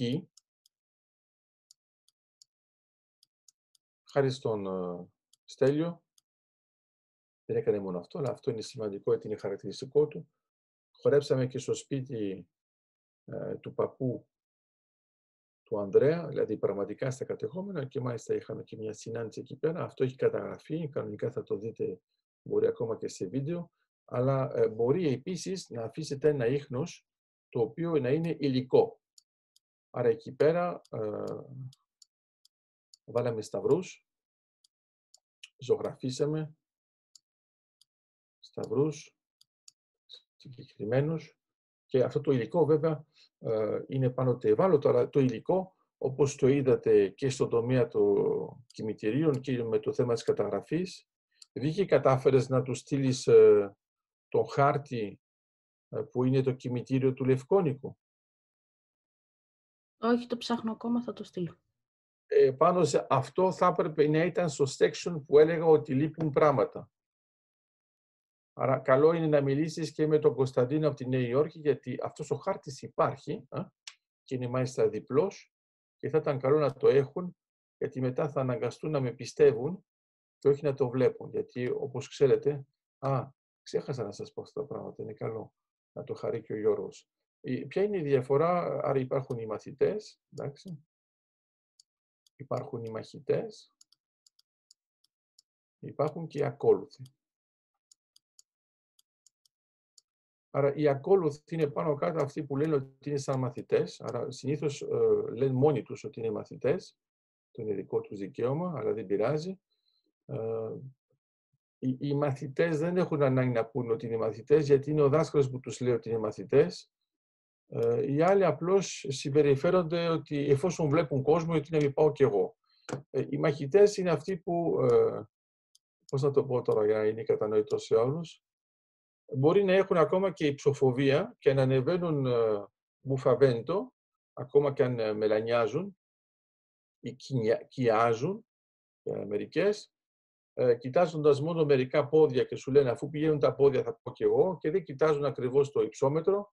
Αλλά για όσους δεν θυμούνται, εδώ είμαστε στα 950 μέτρα, ε, άρα για βυζαντινό κάστρο, για το Χαρί και ο Χριστόφορος. Ε, εδώ για μένα είναι αυτοί που έρχονται και δεν το συζητάμε. Σκέφτομαι ειδικά τον Ανδρέα που βοήθησε και άλλους, άλλον Ανδρέα. Είναι, ξέρεις, το θέμα με την Κύπρο. Είναι, η μισή Κύπρος είναι ο Ανδρέας, η άλλη είναι ο Γιώργος. Ε, είναι εντάξει. Και έχουμε και τα ονόματα, δηλαδή Ανδρέας Ανδρέου, ε, Νίκος Νικολάου, Γιώργος Γεωργίου, είναι ξεκάθαρο για να έχουμε ένα μπέρδεμα. Αυτό εδώ είναι πολύ μεγάλη σημασία και εγώ αυτό που βλέπω είναι ότι ε, πολλά λέγονται, πολλά λέγονται, αλλά πολλοί λένε, μα, ε, ναι, και βέβαια εμείς είμαστε μαθητές, αλλά βέβαια ε, δεν έχουν πάει κατεχόμενα ούτε να πάνε σε ε, πιο παράξενες αποστολές στα κατεχόμενα. Αλλά στην πραγματικότητα είναι εδώ. Αυτό δεν πειράζει να είστε ακόλουθος, εντάξει. Απλώς μην λέτε και περισσότερα, γιατί ε, αυτό που έχει σημασία είναι αν μπορείτε μετά να περάσετε στο επόμενο στάδιο, εντάξει. Και εδώ πάλι και αυτό είναι ένα παλούκι, γιατί ο καθένας έχει τις ικανότητές του, άρα τα βλέπουμε. Στους μεγάλους αγώνες τα βλέπουμε και γι' αυτό σας λέω από την αρχή, το συζητήσαμε βέβαια και με την Κέτη που είχε ένα νοητικό σοκ σε σχέση με το τι ξέρουμε όταν είμαστε σε φάση άγνοιας. Δεν ξέρω αν η Κέτη είναι εδώ. Είναι πάλι το ίδιο. Ε, δεν υπάρχει μια απέτηση να πάτε κατευθείαν από εδώ, εδώ ή από εδώ.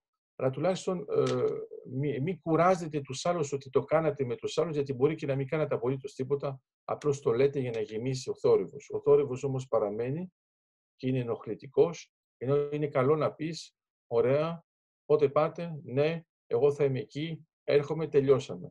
Και είναι πράγματα που εγώ έχω ζήσει βιωματικά ε, σε πολλές περιπτώσεις με ανθρώπους που μένουν Λεμέσο, μπορεί να μένουν και Πάφο, μπορεί να μένουν ένας Θεός ξέρει και στην Κύπρο, μπορεί να έρχονται κατευθείαν από Ελλάδα, το έχουν κάνει, το είπαμε, το κάναν και τελειώσαμε. Αυτοί τώρα που το λένε, και βέβαια εγώ θα έκανα τα πάντα, τα έχω δει. Σε κάποια φάση είχαμε κάνει ένα master class που σας είχα βάλει να συμπληρώσετε διάφορα τσεκ και είχε πολύ πλάκα, γιατί ήταν πάρα πολύ που, ε, άμα το, σας το ξαναδείξω αυτό το χαρτί, Άρα εδώ έχει τα ονόματα, ο καθένας τα χαρτάκια του και έλεγε αν είχε κάνει αυτό, δεν είχε κάνει αυτό. Ναι. Είναι μερικοί που ε, πρέπει στην πραγματικότητα να θυμούνται ότι ουσιαστικά έβαλαν το όνομά τους, γιατί τα άλλα δεν είχαν και πολλά τσεκ και φαντάζομαι ότι επειδή δεν τους είδα, ε, πάλι δεν έχουν πολλά τσεκ ούτε τώρα. Άρα αυτό είναι καλό να το έχετε στο μυαλό σας. Πράξεις, πράξεις, πράξεις, και μετά βλέπουμε για τον λόγο,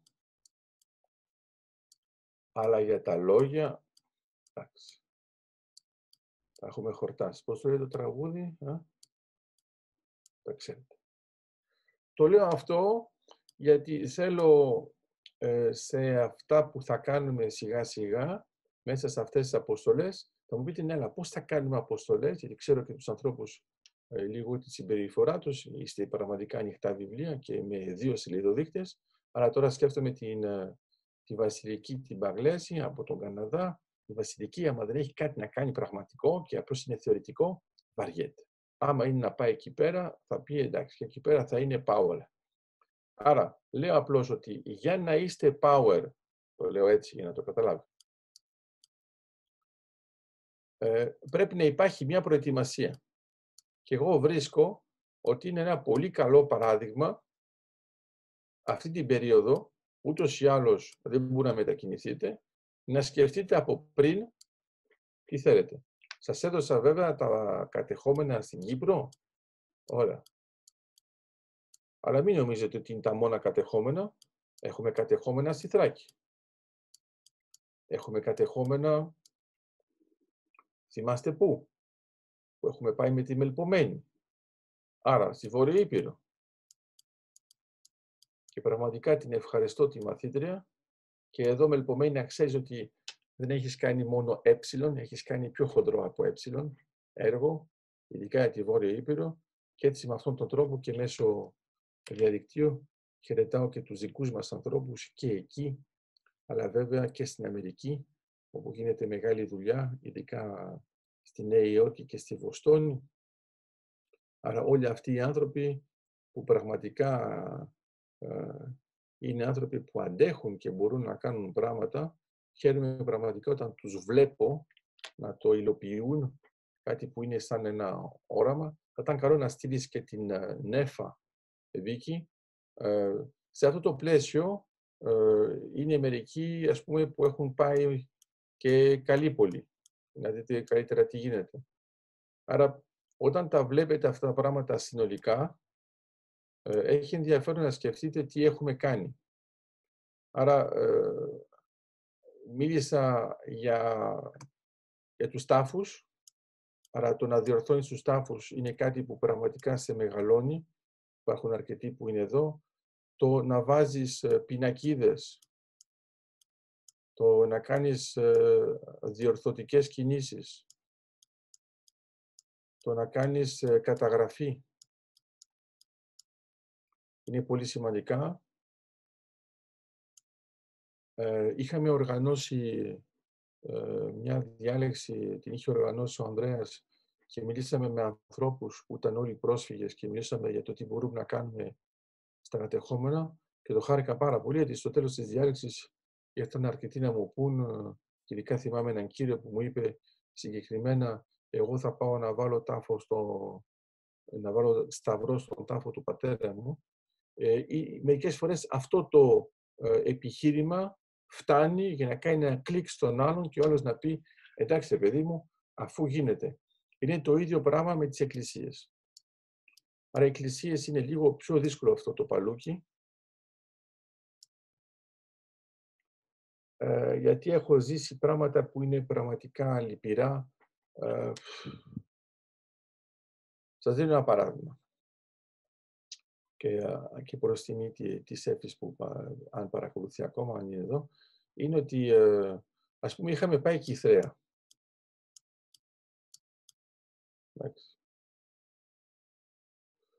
Κυθρέα. Πριν χρόνια. Ε, είχαμε δει στο πάνω μέρος, θα μπορούσαμε να πούμε τον γυναικονίτη, ένα πανέμορφο ε, σύστημα που είχαν με, τώρα θα το ζωγραφίσω έτσι απλοϊκά, αλλά τέλος πάντων κανονικά το μπαλκόνι εντός εισαγωγικών είναι έτσι. Και εδώ έχετε μια εσοχή. Όλο αυτό τώρα ήταν διακοσμημένο ε, με γύψο, η βάση εννοώ, ζωγραφισμένο. Αυτό το είδα, το φωτογράφησα, προσπάθησα να μιλήσω με ανθρώπους ε, της συντήρησης, αρχαιολόγους, ε, δεν έκαναν την κίνηση να το σώσουν. Αφήθηκε επί τόπου, ξαναπήγα μετά από μερικά χρόνια, είναι εντελώς διαλυμένο τώρα και δεν υπάρχει παρά μόνο στη μνήμη μου και στις φωτογραφίες που είχαμε βγάλει. Και αυτό είναι το καθαρά, θα το βάλω με μαύρο γιατί μου τη δίνει, είναι το καθαρά θεσμικό. Μέχρι να πάρθει μια απόφαση από τον θεσμικό φορέα για το τι πρέπει να γίνει για αυτό το συγκεκριμένο, είναι πολύ απλό. Αυτό τώρα δεν υπάρχει αλλά πήγαμε ανθρώπους από αυτό το μέρος, ε, ενημερώσαμε, ενημερώσαμε, ενημερώσαμε, το ήξεραν, το έκαναν και είναι αυτές οι θεσμικές αποφάσεις, υπουργικές αποφάσεις, μέχρι να υλοποιηθούν, το είχαν καταστρέψει εξ ολοκλήρου και βέβαια δεν έχουν καμία ενόχη γιατί σου λένε αυτές είναι οι διαδικασίες, εμείς δεν μπορούμε να πάμε πιο γρήγορα, Άρα ε, ευτυχώς που δεν κάνουμε τέτοια πράγματα με ανάλογο τρόπο στο Ιράκ, γιατί θα είχαν φανταζόμαι διαλυθεί απολύτως όλα. Έχω δει ανθρώπους, ειδικά στο Ιράκ με τα θέματα και με τους Ασσύρους να έχουν σώσει το υλικό τους, να το έχουν βάλει σε άλλα μουσεία πριν την καταστροφή, να κάνουν ό,τι μπορούν για να το σώσουν. Ε, και εδώ υπάρχουν άνθρωποι που απλώς λένε εντάξει, εμένα η δουλειά μου είναι μόνο αυτό, δεν θα ασχοληθώ και περισσότερο. Άρα, είναι, ξέρετε, είναι αυτή η νοοτροπία του Υπουργείου, ό,τι πει το Υπουργείο, ό,τι πει η οδηγία και είναι αστείο γιατί στην πραγματικότητα το Υπουργείο έχει μια ανάδραση, αλλά να βάλω και λίγο χρωματάκι τώρα, διότι άμα κάνετε μια σοβαρή πρόταση, ε, θα γίνει μετά μια πράξη που θα βγει από το Υπουργείο. Αλλά το θέμα είναι ότι άμα δεν κάνει κανένας αυτή την κίνηση και περιμένετε να λειτουργήσει κανονικά, ε, σε έκτακτα όπως είναι αυτό, άρα μπορεί μερικούς από εσάς, μερικές από εσάς να μην σας αγγίζει που αυτό χάλασε και να μην υπάρχει πια. Εμένα ε, δεν θα σας πω τι μου κάνει, γιατί μετά θα... θα χρησιμοποιήσουμε άλλο λεξιλόγιο. Ε, αυτά γίνονται, τα βλέπω και το θέμα της συντήρησης είναι πάλι το ίδιο, επειδή ε, το έχω ζήσει και ζωντανά, ειδικά με τον Ανδρέα, το θέμα της συντήρησης για εκκλησία του Αγίου Γεωργίου μέσα στην Κερίνια και αυτό ήταν ένα θέμα. Ε, όταν μας λένε ότι απαγορεύεται να ανεβαίνουμε πάνω ε, στις εκκλησίες, τώρα άμα μετρήσω μόνο ο Ανδρέας πόσες φορές έχει ανεβεί, όχι μόνο μαζί μου, αλλά και σίγουρα μόνος του σε εκκλησία για να δει ποια είναι η κατάσταση της σκεπής. Εντάξει. Αυτά πάνω να ξέρετε ότι είναι έργα που έγιναν και έγιναν και με τη βοήθεια του Νάσου. Έγιναν, μάλιστα να το ξέρετε, και με τη συζήτηση με τον Μητροπολίτη Κυρίνιας τότε. Έχουμε βέβαια κάνει συζητήσεις και με τον επόμενο, αλλά τότε ε, ήταν ο Παύλος, ε, φαντάζομαι η Προκοπία πρέπει να τον ξέρει και προσωπικά, και είχαμε μια συζήτηση τέτοιου τύπου και με τον Κυριάκο και ε, λέγαμε ότι έχουμε δει, έχουμε δει την Αγγελική. Η Αγγελική είναι αυτή που προστάτευε την Εκκλησία. Θα γράψω και το όνομά της, είναι το χαρή ψυχή της. Ε, άρα η Αγγελική ε, προστάτευε την Εκκλησία του Αγίου Γεωργίου όταν είχαμε πάει την πρώτη φορά. Το μόνο ε, που μας ζήτησε όταν τη ζητήσαμε δεν θες κάτι, είναι να πάρουμε πίσω τα κεριά. Δεν ξέρω αν θυμάται τα πράγματα του Ανδρέας, γιατί δεν ήταν μαζί μας, αλλά ήταν με την Άννα ε, και τα πήραμε τα κεριά και το λέω τώρα και σε όλους σας.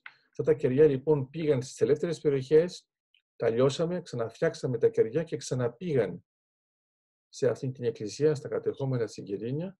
Για να σας δώσω ένα παράδειγμα για το τι ζούμε μερικές φορές, ε, ήμασταν με ε, μια κοπέλα, η Αγγελική δεν μπορούσε να βοηθήσει γιατί ήταν τεράστια τα τσουβάλια. Αυτή τι είχε κάνει, είχε κρατήσει όλα τα τσουβάλια με όλα τα κεριά από το 1974 και μετά. Απίστευτο. Εντάξει. Άρα τα κουβαλήσαμε στο αυτοκίνητο. Το αυτοκίνητο, όσοι βλέπουν την οθόνη και εμένα, το αυτοκίνητο είχε γίνει έτσι, από το βάρος, δηλαδή απόλυτη διακριτικότητα. Και όταν ε, ήταν εκεί πέρα δύο, δύο Κύπροι, δύο μαντράχαλοι, που είχαν έρθει να δουν την εκκλησία, γιατί βέβαια ήταν της περιοχής, α, Προκοπίας το λέει για να μην ευρεάσεις, και το μόνο που ήθελα αυτό είναι, ήθελαν να δουν ε, την περιοχή, αλλά όταν τους είπαμε, μα δεν θέλετε να βοηθήσουμε την Αγγελική και να πάρετε και εσείς κεριά, και λέει, αστείευεστε για να μας πιάσουν. Άρα ήταν πολύ αστείο να δείτε μια αγριά, μια κοπέλα, το δάσκαλο και δύο μαντράχαλους και να είναι οι δύο μαντράχαλοι που να είναι χεσμένοι, αλλά όχι οι κοπέλες και η γρία. Δηλαδή να τρελαθείς. Τέλος πάντων, το κάναμε όπως το κάναμε μόνοι μας και έγινε.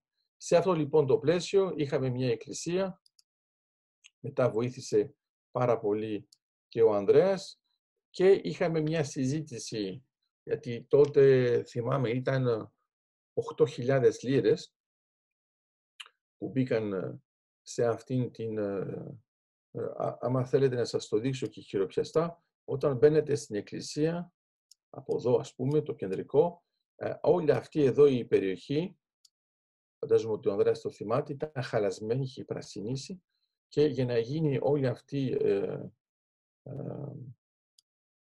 σχεδόν ανάπλαστη, θα μπορούσα να πούμε, γιατί είχαμε ρογμή από πάνω, άρα έσταζε μέσα και είχε ανοίξει ουσιαστικά αυτό τώρα, άμα πάτε, δεν θα το καταλάβετε, Και τότε ήταν η συζήτηση που είχαμε με τον Μητροπολίτη και έγινε και έχει ενδιαφέρον η θέση του Μητροπολίτη. Η θέση του Μητροπολίτη ήταν πάρα πολύ απλή.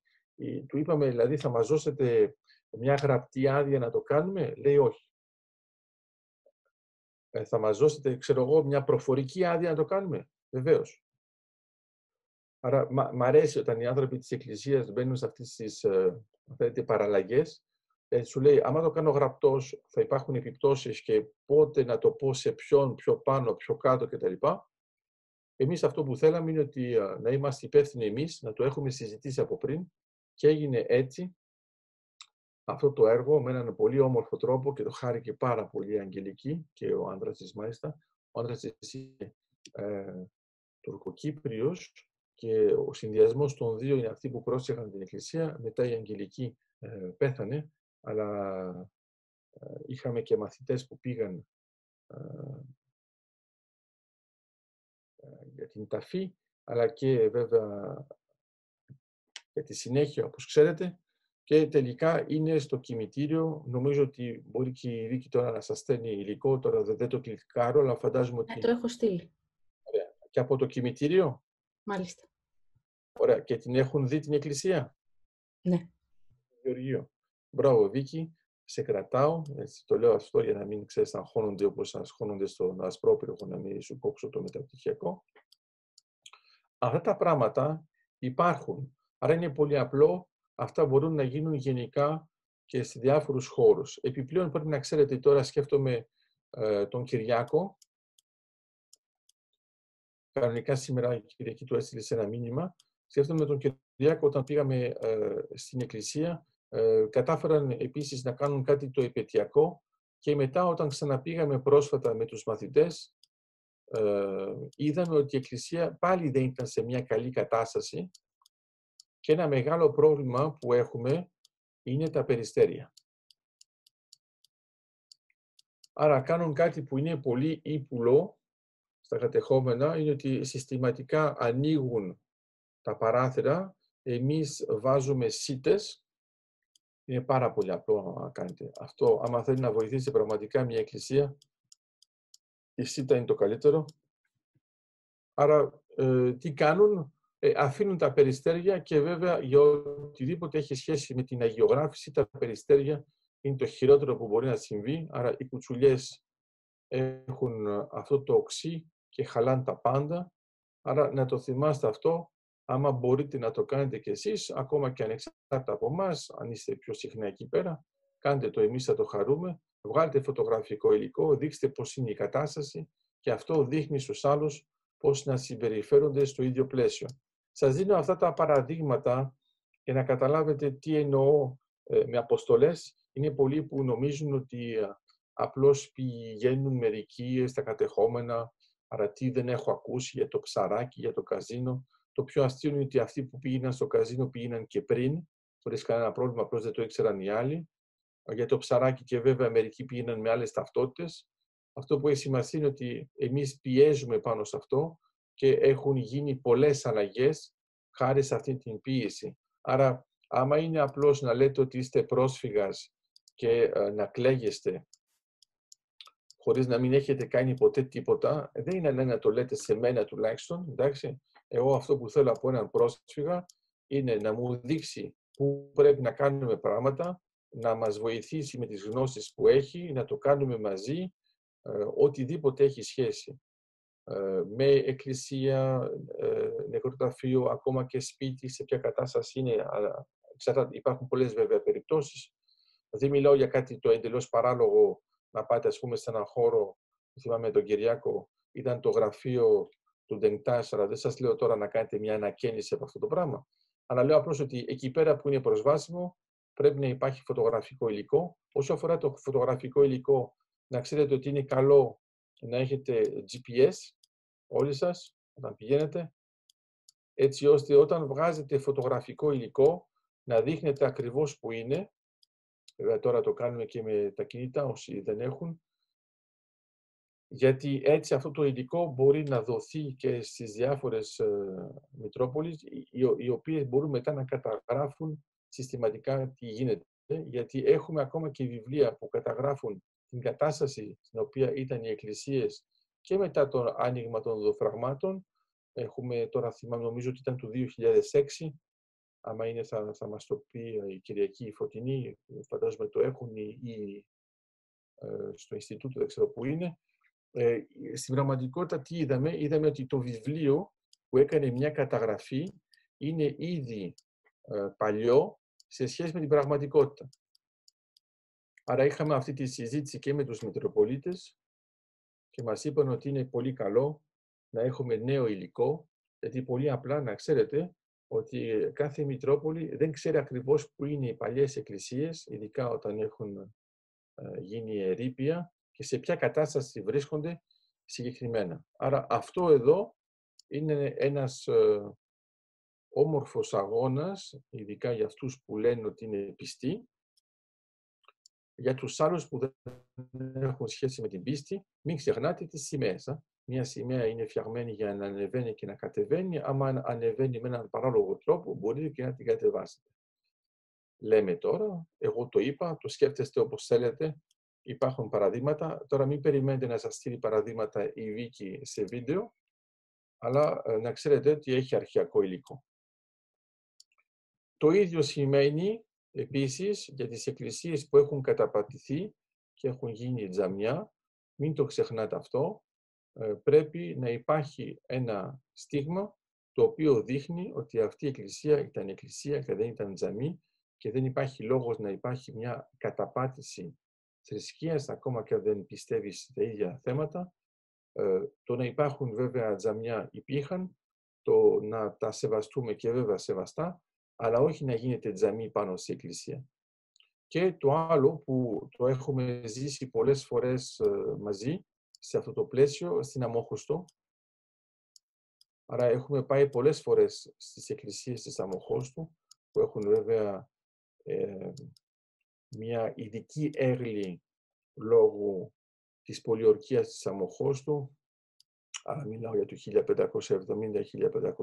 1570-1571, ειδικά, βέβαια δεν έγινε μόνο εκεί η πολιορκία, αλλά εκεί πέρα κράτησε το περισσότερο και ήταν το τέλος.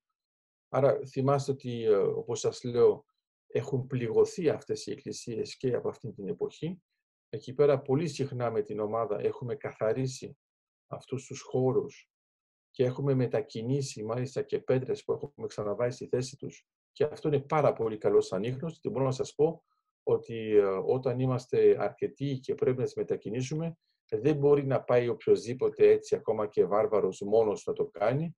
Θέλει ολόκληρο, ολόκληρη δουλειά και ολόκληρο συντονισμό. Ε, εμείς το κάνουμε και το χαιρόμαστε κάθε φορά και ακόμα και όταν δεν έχουμε ας πούμε φουσκωτούς μαθητές, το κάνουμε και με ξεφουσκωμένους και με ξεφουσκωμένες και όταν είναι πιο πολλοί και πιο πολλές, πάλι τα καταφέρουν γιατί υπάρχει πάνω αυτή η θέληση, δηλαδή να, να θέλουν να κάνουν κάτι το οποίο θα αλλάξει τα δεδομένα. Και γι' αυτό όταν σας έλεγα για το θέμα του ίχνους, δεν είναι μόνο εδώ, δεν είναι μόνο η μνήμη. Μην παράγεται μόνο μνήμη στις αποστολές. Η μνήμη είναι καλή, αλλά πρέπει να υπάρχει και ένα πρακτικό ίχνος, ε, ένα υλικό, άμα θέλετε. Για ποιο λόγο, γιατί αυτό επηρεάζει. Και αυτό είναι πάλι, για να ξαναχρησιμοποιήσω και τον κόπο που είναι πιο πάνω, είναι το θέμα της επιρροής. Δεν είναι ανάγκη να βάλετε όλες τις πέτρες μία δίπλα στην άλλη, αλλά μπορώ να σας πω ότι όταν υπάρχουν μερικές πέτρες σε μερικά σημεία, σημαντικά, και τα βλέπουν και οι άλλοι, τότε καταλαβαίνουν ότι κάτι γίνεται και από τη στιγμή που κάτι γίνεται, καταλαβαίνουν πρώτον ότι δεν έχουμε ξεχάσει και ότι συνεχίζουμε αυτόν τον αγώνα έμπρακτα. Άρα, άμα θέλετε να δείτε και άλλα παραδείγματα που μπορεί να είναι και πιο συμβολικά, είναι ε, πόσες βυζαντινές σημαίες έχουμε ανοίξει παντού στα κατεχόμενα. Μάλιστα όμως όχι μόνο της Κύπρου, εντάξει, αλλά και της Θράκης, αλλά τέλος πάντων αυτό, κοιτάξτε μόνο και μόνο πόσες βυζαντινές σημαίες ε, σε πόσα σημεία διαφορετικά έχουν εμφανιστεί. Αν θα μου πείτε γιατί να κάνουμε μια βυζαντινή σημαία γιατί να μην βάλουμε, ξέρω εγώ, μια ε, είτε κυπριακή σημαία είτε μια ελληνική σημαία.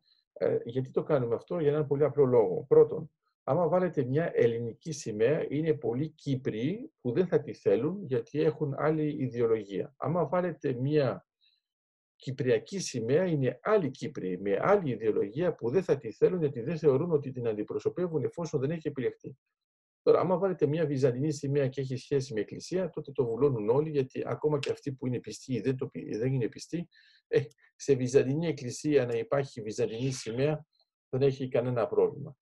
Αυτό τώρα που λέω ε, είναι ένας τρόπος να υπάρχουν συγκεκριμένες αποστολές. Ε, μιλάω βέβαια και για τα νησιά, μάλλον θα πούμε τα νησάκια.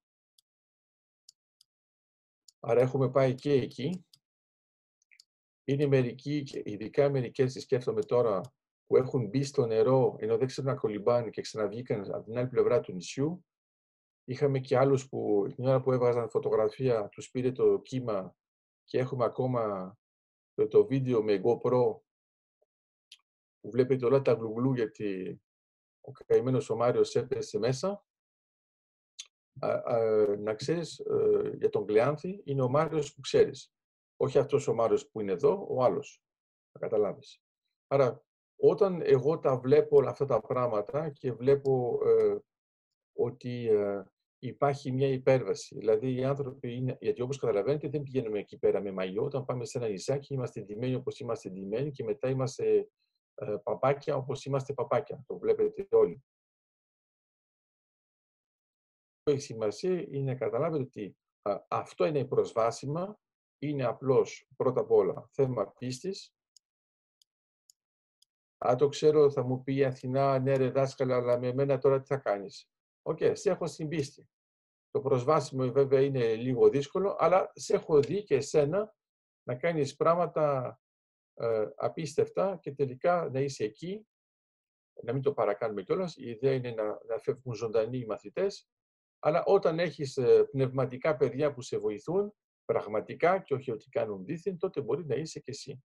Άρα ε, είναι βέβαια σίγουρα μια υπέρβαση, γιατί ε, το έλεγα και στο Γιώργο στο μάθημα σημερινό, να ξέρετε ότι είναι πάρα πολλοί που έχουν πάρα πολλές φοβίες. Εντάξει. Φοβίες, α, όχι φόβους. Άρα με τις φοβίες, εντάξει, πρέπει να το εξισορροπήσουμε με ανθρώπους που δεν φοβούνται και δεν έχουν αυτές τις φοβίες, ε, γιατί αλλιώς δεν θα μπορούσαν ποτέ ας πούμε, να μπουν σε μια εκκλησία που έχει γίνει τζαμί για να βγάλουμε φωτογραφικό υλικό και να έχουμε αποδεικτικά στοιχεία ότι υπάρχει τέμπλο, ότι υπάρχουν ε, σκαλισμένα ιερά πράγματα, τα οποία ήταν απλώς ε, μαζεμένα με έναν άλλο τρόπο. Έχω δει ανθρώπους να πηγαίνουν στο γυναικονίτη και να βλέπουν ότι πόσο σημαντικό είναι να δουν από πάνω τι γίνεται και να έχουμε πάλι αποδεικτικά στοιχεία για την καταπάτηση. Απλώς αυτό δεν γίνεται με όλους. Άρα γι' αυτό λέω ότι υπάρχει αυτή η υπέρβαση που είναι δύσκολη μερικές φορές. Αλλά τέλος πάντων πρέπει και να μην ε, το ξεχάσω να καταλάβετε πόση χαρά δημιουργεί όλο αυτό το πράγμα. Είναι απίστευτο. Εγώ το βλέπω στα βλέμματα των μαθητών και γι' αυτό σας μιλάω για αυτό το πράγμα. Γιατί μην ξεχνάτε ότι επειδή είμαστε σε φάση πανδημίας, εγώ θέλω πρώτα απ' όλα να χαίρεστε. Δεν θέλω να ζηλεύετε επειδή κάνετε ή δεν κάνετε κάτι. Θέλω να χαίρεστε, να σκεφτείτε και άλλα πράγματα. Γιατί όπως καταλαβαίνετε, αυτό είναι μόνο μια αρχή.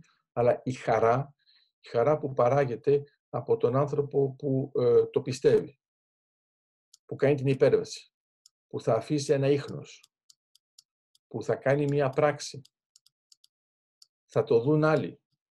Θα μπορέσεις να το πεις στους δικούς του. Ότι πήγα εκεί, κάναμε αυτό, βγάλαμε αυτό το βίντεο, ε, βλέπουν οι άλλοι άνθρωποι. Ε, θυμάμαι είχα κάνει μια διάλεξη στη Λάρνακα και μάλιστα νομίζω ότι ήταν στο Alexander College. Τελικά σε αυτό το college κάνουμε κάθε φορά παράξενα πράγματα. Έκανα μια διάλεξη και εκεί πέρα, ταυτόχρονα με τη διάλεξη, βάζαμε ένα βίντεο που έδειχνε όλες όλα τα σημεία που είχαμε ε, βγάλει για αυτές τις σημαίες και έπρεπε να δείτε το κοινό. Είχαμε πολλούς ανθρώπους που δάκρυζαν, που ξαφνιάστηκαν. Εγώ έκανα ότι ασχολιόμουν με το βίντεο, το βίντεο απλώς έτρεχε πίσω μου, δεν, δεν, δεν έκανα καμία παρατήρηση πάνω στο βίντεο, έκανα ακριβώς τη διάλεξη κανονικά, αλλά εγώ τους έβλεπα ταυτόχρονα, έπρεπε βέβαια να κρατηθώ γιατί και εμένα με συγκινούσε η συγκίνησή τους, αλλά μετά αυτό που ήταν το απίστευτο είναι ότι ε, έβλεπαν ότι γίνεται. Γίνεται. Προσέξτε, ε, όχι μόνο ότι έγινε, ότι γίνεται, που σημαίνει ότι ξαναγίνεται. Όταν σας έλεγα π.χ. για το θέμα της του, όταν πήγαμε στην Τάφρο για πρώτη φορά με μερικούς πρόσφυγες, ήταν μερικοί που πραγματικά ήταν σε πλαίσιο φοβίας, γιατί δεν είχαν ζήσει κάτι το ανάλογο, όχι από το 1974, από τη δεκαετία του 60, γιατί ήταν απαγορευμένη η ζώνη. Άρα, ε, όταν το βλέπαμε στο πρόσωπό τους ότι λέγαμε είναι δυνατόν να γίνεται αυτό το πράγμα που κάνουμε, σε κάποια φάση λέγαμε, μα γιατί το, τόσο πολύ σας ξαφνιάζει, γιατί εμείς σαν δεδομένα είχαμε πιο πολύ τα δεδομένα του 74 και όχι βέβαια του 63-64. Άρα αυτοί οι άνθρωποι ξαφνιάστηκαν με αυτό που γινόταν. Ε, μάλιστα σίγουρα υπάρχουν και εδώ άνθρωποι που ε, είναι παρόντες τώρα σε αυτή την πρώτη αποστολή, σαν πρώτη εισαγωγή και σκέφτονται ε, ότι όντως έγινε αυτό το πράγμα. Έχουμε βέβαια και τα δικά μας, ε, αν θέλετε, τις ε, μικρές μας παραδόσεις, δεν λέω όλες τις λεπτομέρειες, αλλά έχουν σχέση με τα κανόνια. Έχουμε παίξει έξυπνα παιχνίδια. Προσέξτε, cross, cross game, μπροστά στη πύλη του Αγίου Νικολάου. Και κανένας δεν βρέθηκε να μας πει ρε παιδιά, μας δουλεύετε. Εδώ έχετε ένα παιχνίδι που έχει κατευθείαν ένα σταυρό πάνω σε αυτό. Ε, τι γυρεύετε εδώ. Και εμείς συνεχίσαμε να παίζουμε κανονικά μπροστά στο, στο προάβλιο, όπως κάνουμε και ε, τις ελεύθερες περιοχές. Εγώ θυμάμαι ε, στο Βόλο, εμείς όταν παίζαμε στην, ε, στο προάβλιο της ανάληψης, εκεί πέρα παίζαμε σκάκι, κάναμε τα διάφορα πράγματα, ήταν μπροστά. Άρα ήταν ο δικός μας χώρος, γιατί η Εκκλησία είναι για όλους και πράγματα δεν κάναμε κάτι που ήταν εναντίον της Εκκλησίας βέβαια, ήταν κάτι που ε, σεβόμασταν το χώρο. Και εδώ είναι πάλι το ίδιο, ότι αυτά τώρα μπορεί να σας τα λέω ή μπορεί και βέβαια η Βίκη να σας τα στέλνει, δεν ξέρω τι στέλνει, αλλά σίγουρα... Ε, εμείς... την Αμμόχωστο και τα έξυπνα παιχνίδια. Okay. ωραία, ωραία. Άρα, ε, εγώ ε, θέλω να καταλάβετε και για αυτό το λόγο σας τα στέλνει η μαθήτρια, είναι για να μην έχετε να πιστέψετε. Εντάξει. Ε, η πίστη είναι άλλο επίπεδο. Δεν λέω ότι μερικοί από εσάς και από εσάς δεν πιστεύουν, αλλά εδώ δεν με ενδιαφέρει. Αυτό που με ενδιαφέρει είναι να έχετε το υλικό, να το δείτε, γιατί σίγουρα δεν θα προλάβετε να το δείτε όλα την ώρα που εγώ μιλάω, αλλά να το δείτε και να πείτε ότι είναι εφικτό. Το εφικτό. Άρα τώρα θα μου πείτε εφικτό, απλώς εφικτό και τίποτα άλλο; Ε, δεν είναι μόνο ότι είναι εφικτό. Είναι ότι αυτό βέβαια πρέπει να γίνει σε πλαίσιο τακτικής. Τα ξέρετε τώρα αυτά τα γράμματα, δεν τα ξαναλέω. Να το κοιτάζουμε πάντοτε σε πλαίσιο στρατηγικής. Να υπάρχει ένας συντονισμός των κινήσεων ακόμα και για τα αυτοκίνητα. Όλο αυτό πρέπει να είναι οργανωμένο για να υπάρχει μια ασφάλεια και οι άνθρωποι να χαίρονται και να καταλαβαίνουν ότι δεν γίνεται με έναν τρόπο εντελώς τυχαίο. Και επίσης, για να μην το ξεχάσω αυτό, επειδή μιλήσαμε και για χαρά και σίγουρα ο Μάριος θα με κατηγορήσει, ε, άμα δεν πω αυτό το πράγμα, ε, αυτό σημαίνει ότι όλοι αυτοί που έρχονται φέρνουν φαγητό και βέβαια ειδικά για το Μάριο, όχι οποιοδήποτε φαγητό και κουρασάν. Δεν λέω όλα τα άλλα, θα σας τα πει ο ίδιος, αλλά σίγουρα θα βρείτε και μερικά βίντεο, αλλά συνήθως όταν τρώμε όλοι μαζί δεν βγάζουμε βίντεο εκείνη τη στιγμή, εκτός αν κάνουμε κάποια διάλεξη, ακόμα και όταν φυσάει, ακόμα και όταν είμαστε στο κάστρο, γιατί είναι πολύ σημαντικό, μην ξεχνάτε επίσης, ότι όταν τρώτε μαζί στον ίδιο χώρο, εγώ περιμένω πώς και πώς μια μέρα να μας ε, ε, πώς να το πω, φιλοξενήσει ο Ανδρέας στον χώρο του παππού του και να φάμε εκεί πέρα, να, να στρώσουμε ένα κανονικό τραπέζι και να φάμε εκεί πέρα. Αλλά εγώ θέλω αυτό το πράγμα να το κάνουμε και στα κάστρα, όπως είναι στην Αμόχωστο. Χάρηκα πάρα πολύ, κάναμε ένα masterclass θέατρο. Masterclass θέατρο. Σε ποιο να το πεις τώρα αυτό; Πού; Στην Αμόχωστο. Αλλά όχι με έναν τρόπο που νομίζετε εσείς, ας πούμε, άμα δεν μας ξέρετε, του τύπου ζητήσαμε μια άδεια και έγινε μια θεατρική παράσταση κτλ. Όχι, καμία σχέση. Κατευθείαν, εκεί που είναι τα τείχη, εκεί που είναι οι πύργοι, πάνω κάτω, διαβάσαμε κείμενα, κάναμε αναπαράσταση, κανονικό θέατρο, αλλά επιτόπου. Δηλαδή θέατρο που σας δείχνει το μέλλον.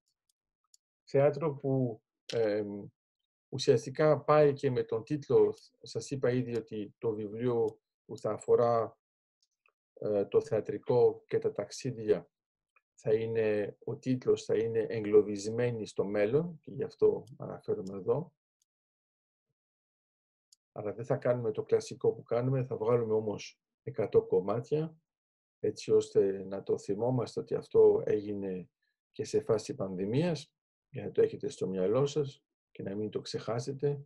Άρα, άμα το δείτε, ότι, ε, γιατί κάναμε αυτό το Masterclass θέατρο, είχαμε κάνει και πολύ πιο παλιά ε, ανάγνωση από τα 30 φιλιά του ηλιού και ε, εφόσον κάναμε τις πρόβες, αυτό που το πάτε, εφόσον κάναμε τις πρόβες στα κατεχόμενα, μετά πήγαμε και κάναμε την παράσταση στις ελεύθερες περιοχές. Άντε τώρα να το πείτε σε κάποιον που θεωρεί ότι εκεί πέρα δεν πρέπει να πας και ότι είναι επικίνδυνο, ότι εμείς το κάναμε με αυτόν τον τρόπο.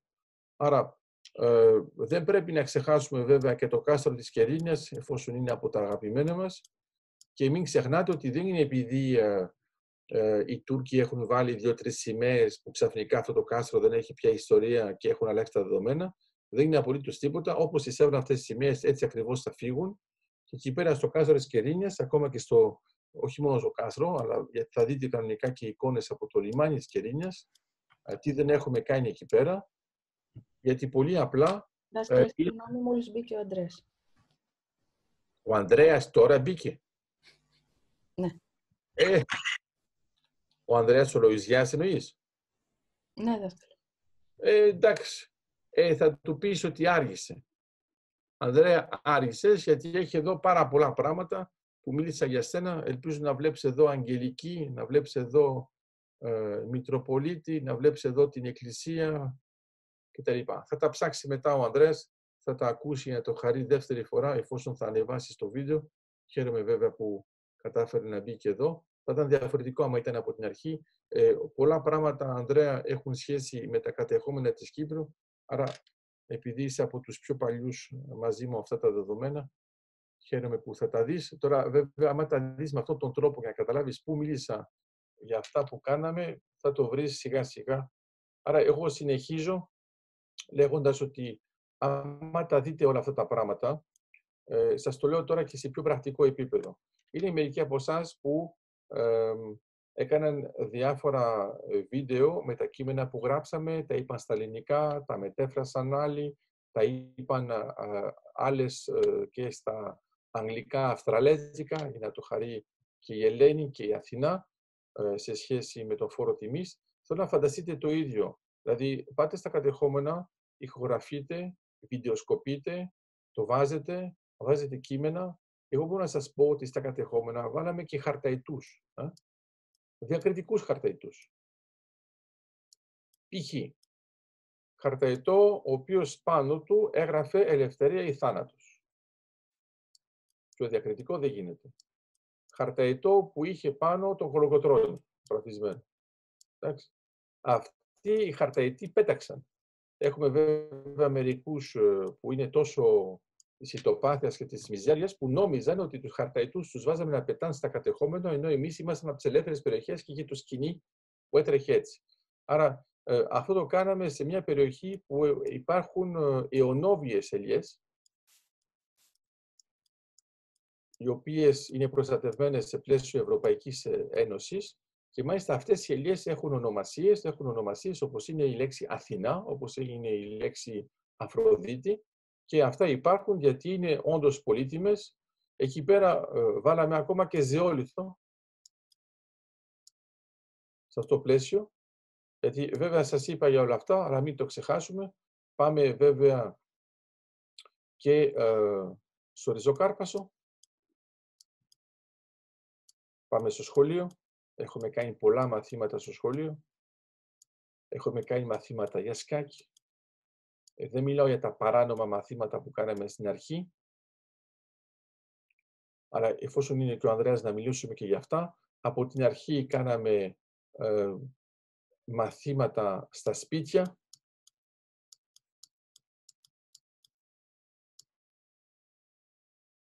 Θυμάμαι ακόμα ότι η γιαγιά που έλεγε «Μα αφού θα γίνει το μάθημα εδώ πρέπει να σκουπίσω», το έλεγε ο Ιωσήφ.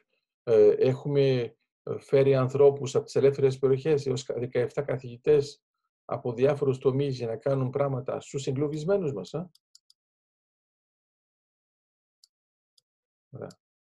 Ε, αυτό έγινε βέβαια και στο σχολείο. Στο σχολείο είχαμε πάει ε, και με παπά.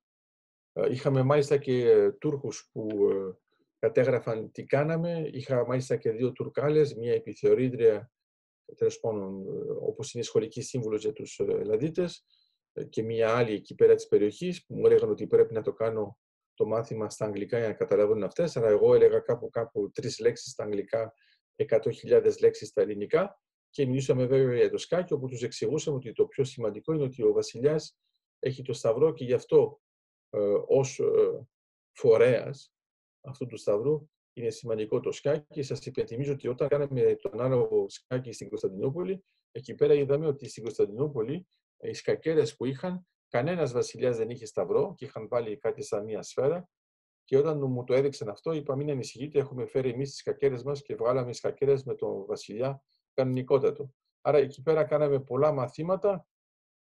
Το χαρήκαμε πάρα πολύ. Ακόμα και τώρα ε, υπάρχουν, γιατί το σχολείο στο Ριζοκάρπασο άνοιξε ήδη από το 2003 και δεν μιλάω μόνο για το σχολείο, αλλά μιλάω και για το γυμνάσιο.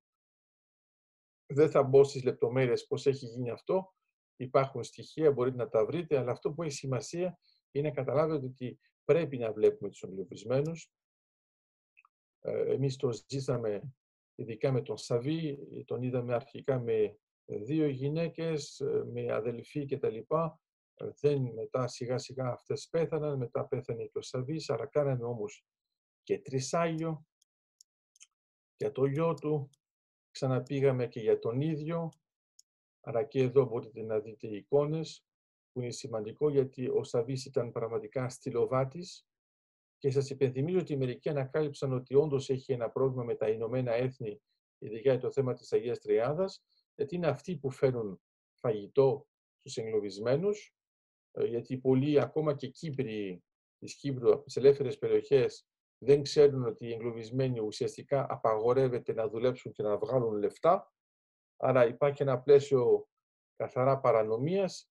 Έχουμε γράψει ε, κείμενα που έχουμε ε, ουσιαστικά πει και εκεί πέρα, άρα είναι οι ξεχασμένοι διάλογοι, είναι διαφορετικό να το διαβάσετε αυτούς τους διαλόγους όταν βλέπετε ότι οι άνθρωποι που ήταν μέσα σε αυτούς τους διαλόγους έχουν πια πεθάνει και ζουν μόνο από αυτούς τους διαλόγους και από τις μνήμες που έχουμε παράγει. Θυμάμαι τον Σαββί όταν μπήκαμε στο χώρο που κρατούσε όλα τα ενθύμια, έλεγε με την γυναίκα του ότι αυτό είναι είναι το μουσείο. Το λέγανε μουσείο γιατί ήταν, όλα σαν να ήταν πριν το 1974.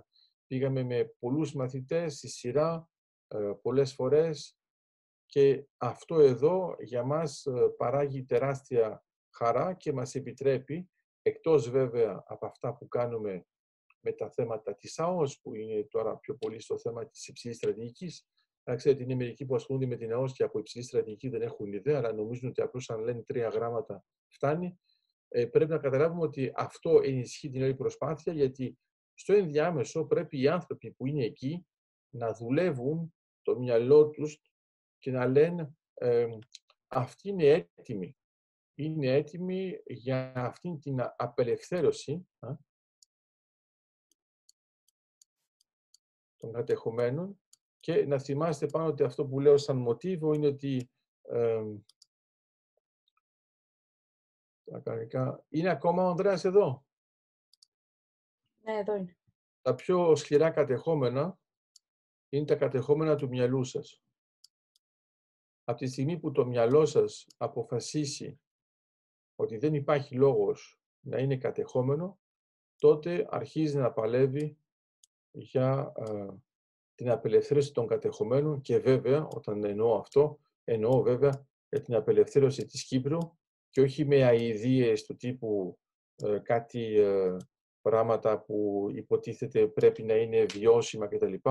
Ε, μία απελευθέρωση πρέπει να είναι ξεκάθαρη, δεν υπάρχει κανένας φόβος, πηγαίνουμε κανονικά προς αυτή την κατεύθυνση και όλα τα στοιχεία που σας έδειξα, δεν σας έδειξα όλες τις τεχνικές, θα σας δείξω και άλλες, θα δούμε αύριο. Αλλά τώρα θέλω, ε, αν, αν θέλει βέβαια ο Ανδρέας να, να έχει τη δυνατότητα να μιλήσει και να μην νομίζει. Είναι ακόμα καλύτερο γιατί επειδή δεν ξέρει τι είπα, μπορεί να πει ό,τι θέλει.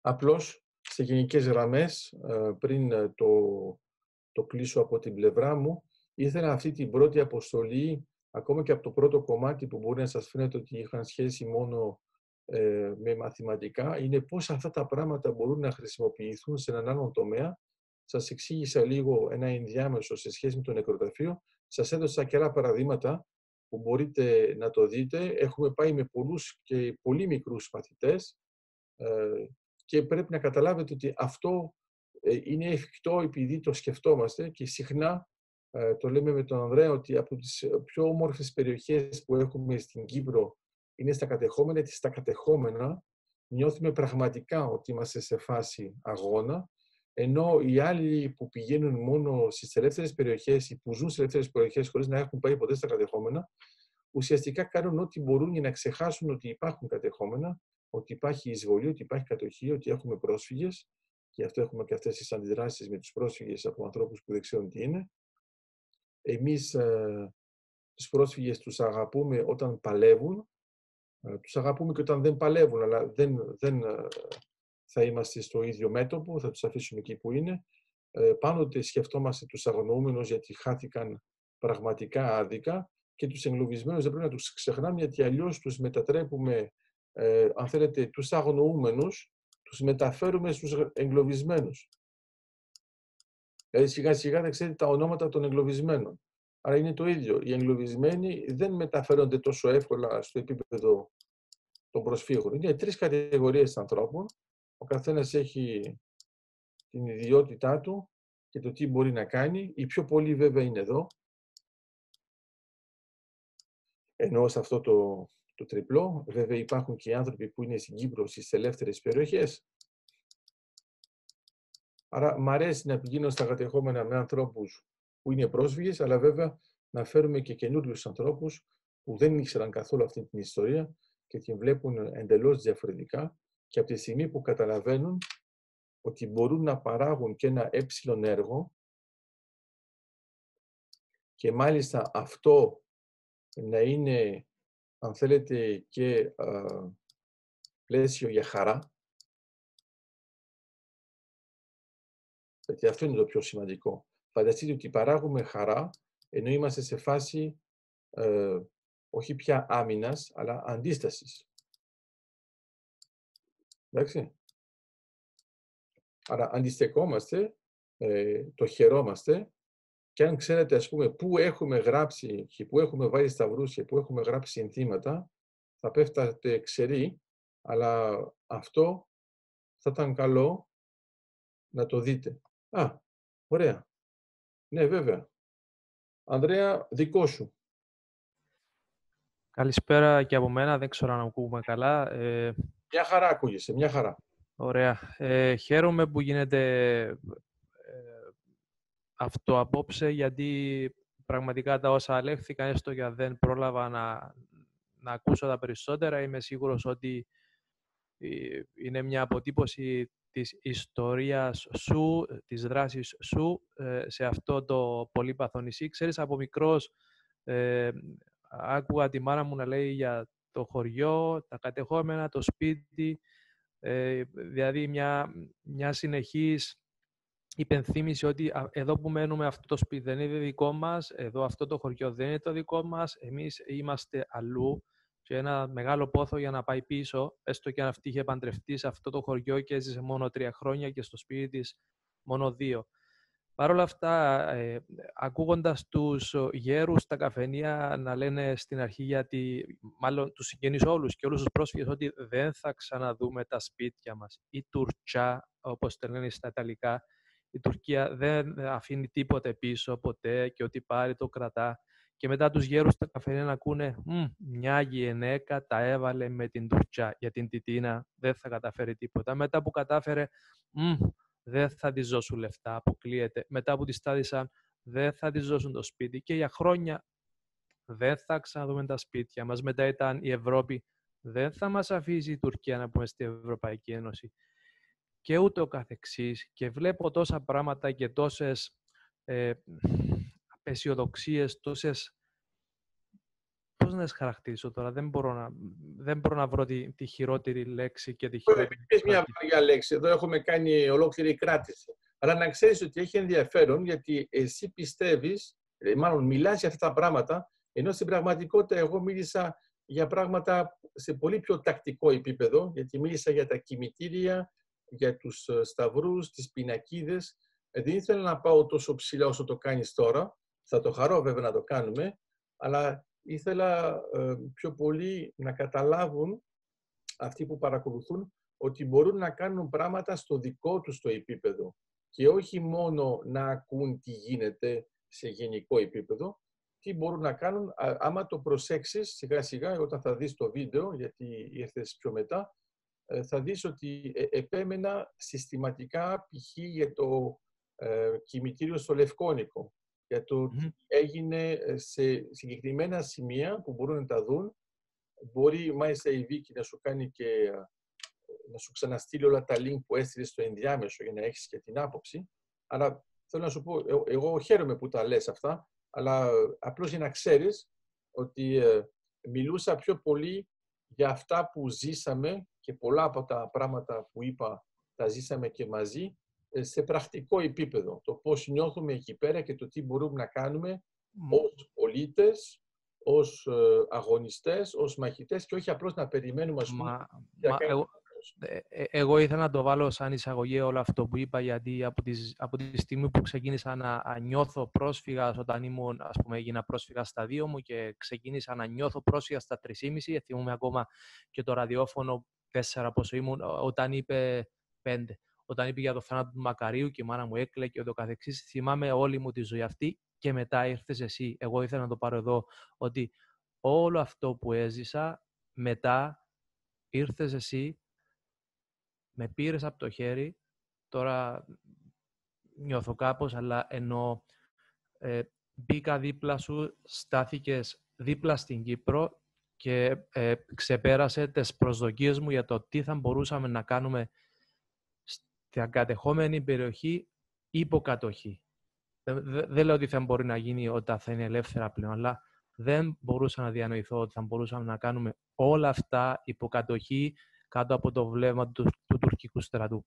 Πραγματικά ε, το ξέρω ότι πολλές φορές πάντα δυσκολεύεσαι να το, ε, ε, να το παραλάβεις, αλλά από μένα ένα μεγάλο στην Ιφίλιο να ακουστεί ευχαριστώ σε εσένα από εμένα γιατί δεν μπορώ να σε νιώσω λιγότερο ε, φίλο, όπως έλεγα τότε, παρά δάσκαλο. Γιατί ε, φιλικά ήταν στην αρχή που βρεθήκαμε, αλλά μετά γίναμε σιγαναγωνιστές και στο τέλος είσαι ένα, ο, ο μεγαλύτερος δάσκαλος για μένα. Ευχαριστώ. Σε σώζει η πανδημία για το ευχαριστώ. Τέλος πάντων θα το δεχτούμε. Να είσαι καλά, να είσαι καλά.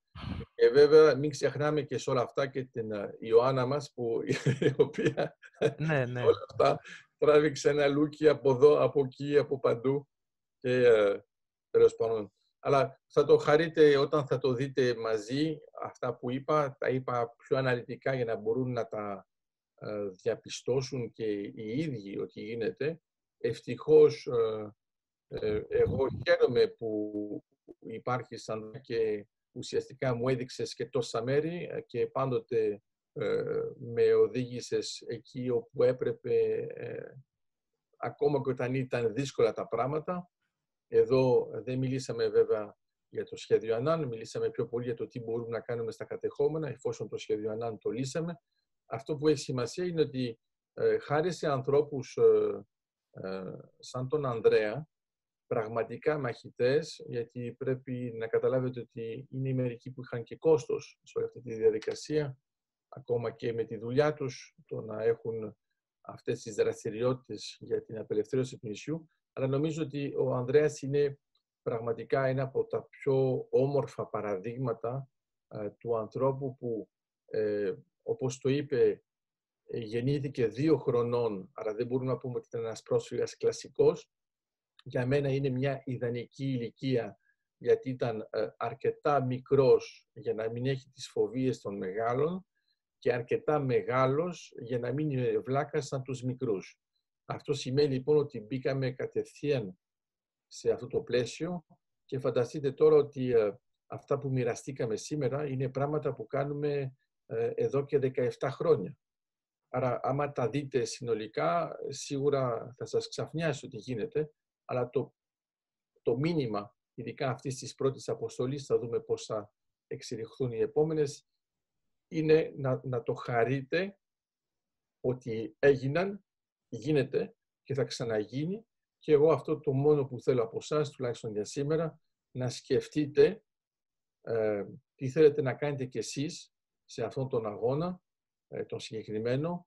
Ε, όσοι θέλουν να ε, συμμετάσχουν με έναν τρόπο ή με έναν άλλον, μην διστάσετε να στείλετε μηνύματα όταν θα είστε πιο άνετοι. Αυτό όμως που πρέπει να πω είναι ότι με το κλείσιμο του Ανδρέα αυτής της πρώτης αποστολής είναι ό,τι καλύτερο μπορούσε να συμβεί και για να το χαρεί και ο Παντελής, να ξέρεις Παντελή ότι ούτε ο δάσκαλος δεν ήξερε ότι θα μιλήσει ο Ανδρέας. Άρα τώρα το έχετε και νομίζω ότι ε, καταλαβαίνετε με αυτόν τον τρόπο ότι ε, ε, μας άγγιξε και μας άγγιξε και μάλιστα με έναν, ε, πώς να το πω, πιο αθώο τρόπο, γιατί δεν ήξερα ακριβώς τι είχαμε πει πριν. Άρα, αν ήξερες, Ανδρέα, πόσες φορές είπα την, την ονομασία σου, μάλλον σε ξέρω γιατί είσαι ντροπαλός, καλύτερα που δεν το άκουσες, ας το ακούσεις πιο μετά. Λοιπόν, αυτά για σήμερα. Να είστε καλά όλοι σας και συνεχίζουμε αύριο όσοι θέλουν βέβαια με μία νέα αποστολή. Καλό βράδυ.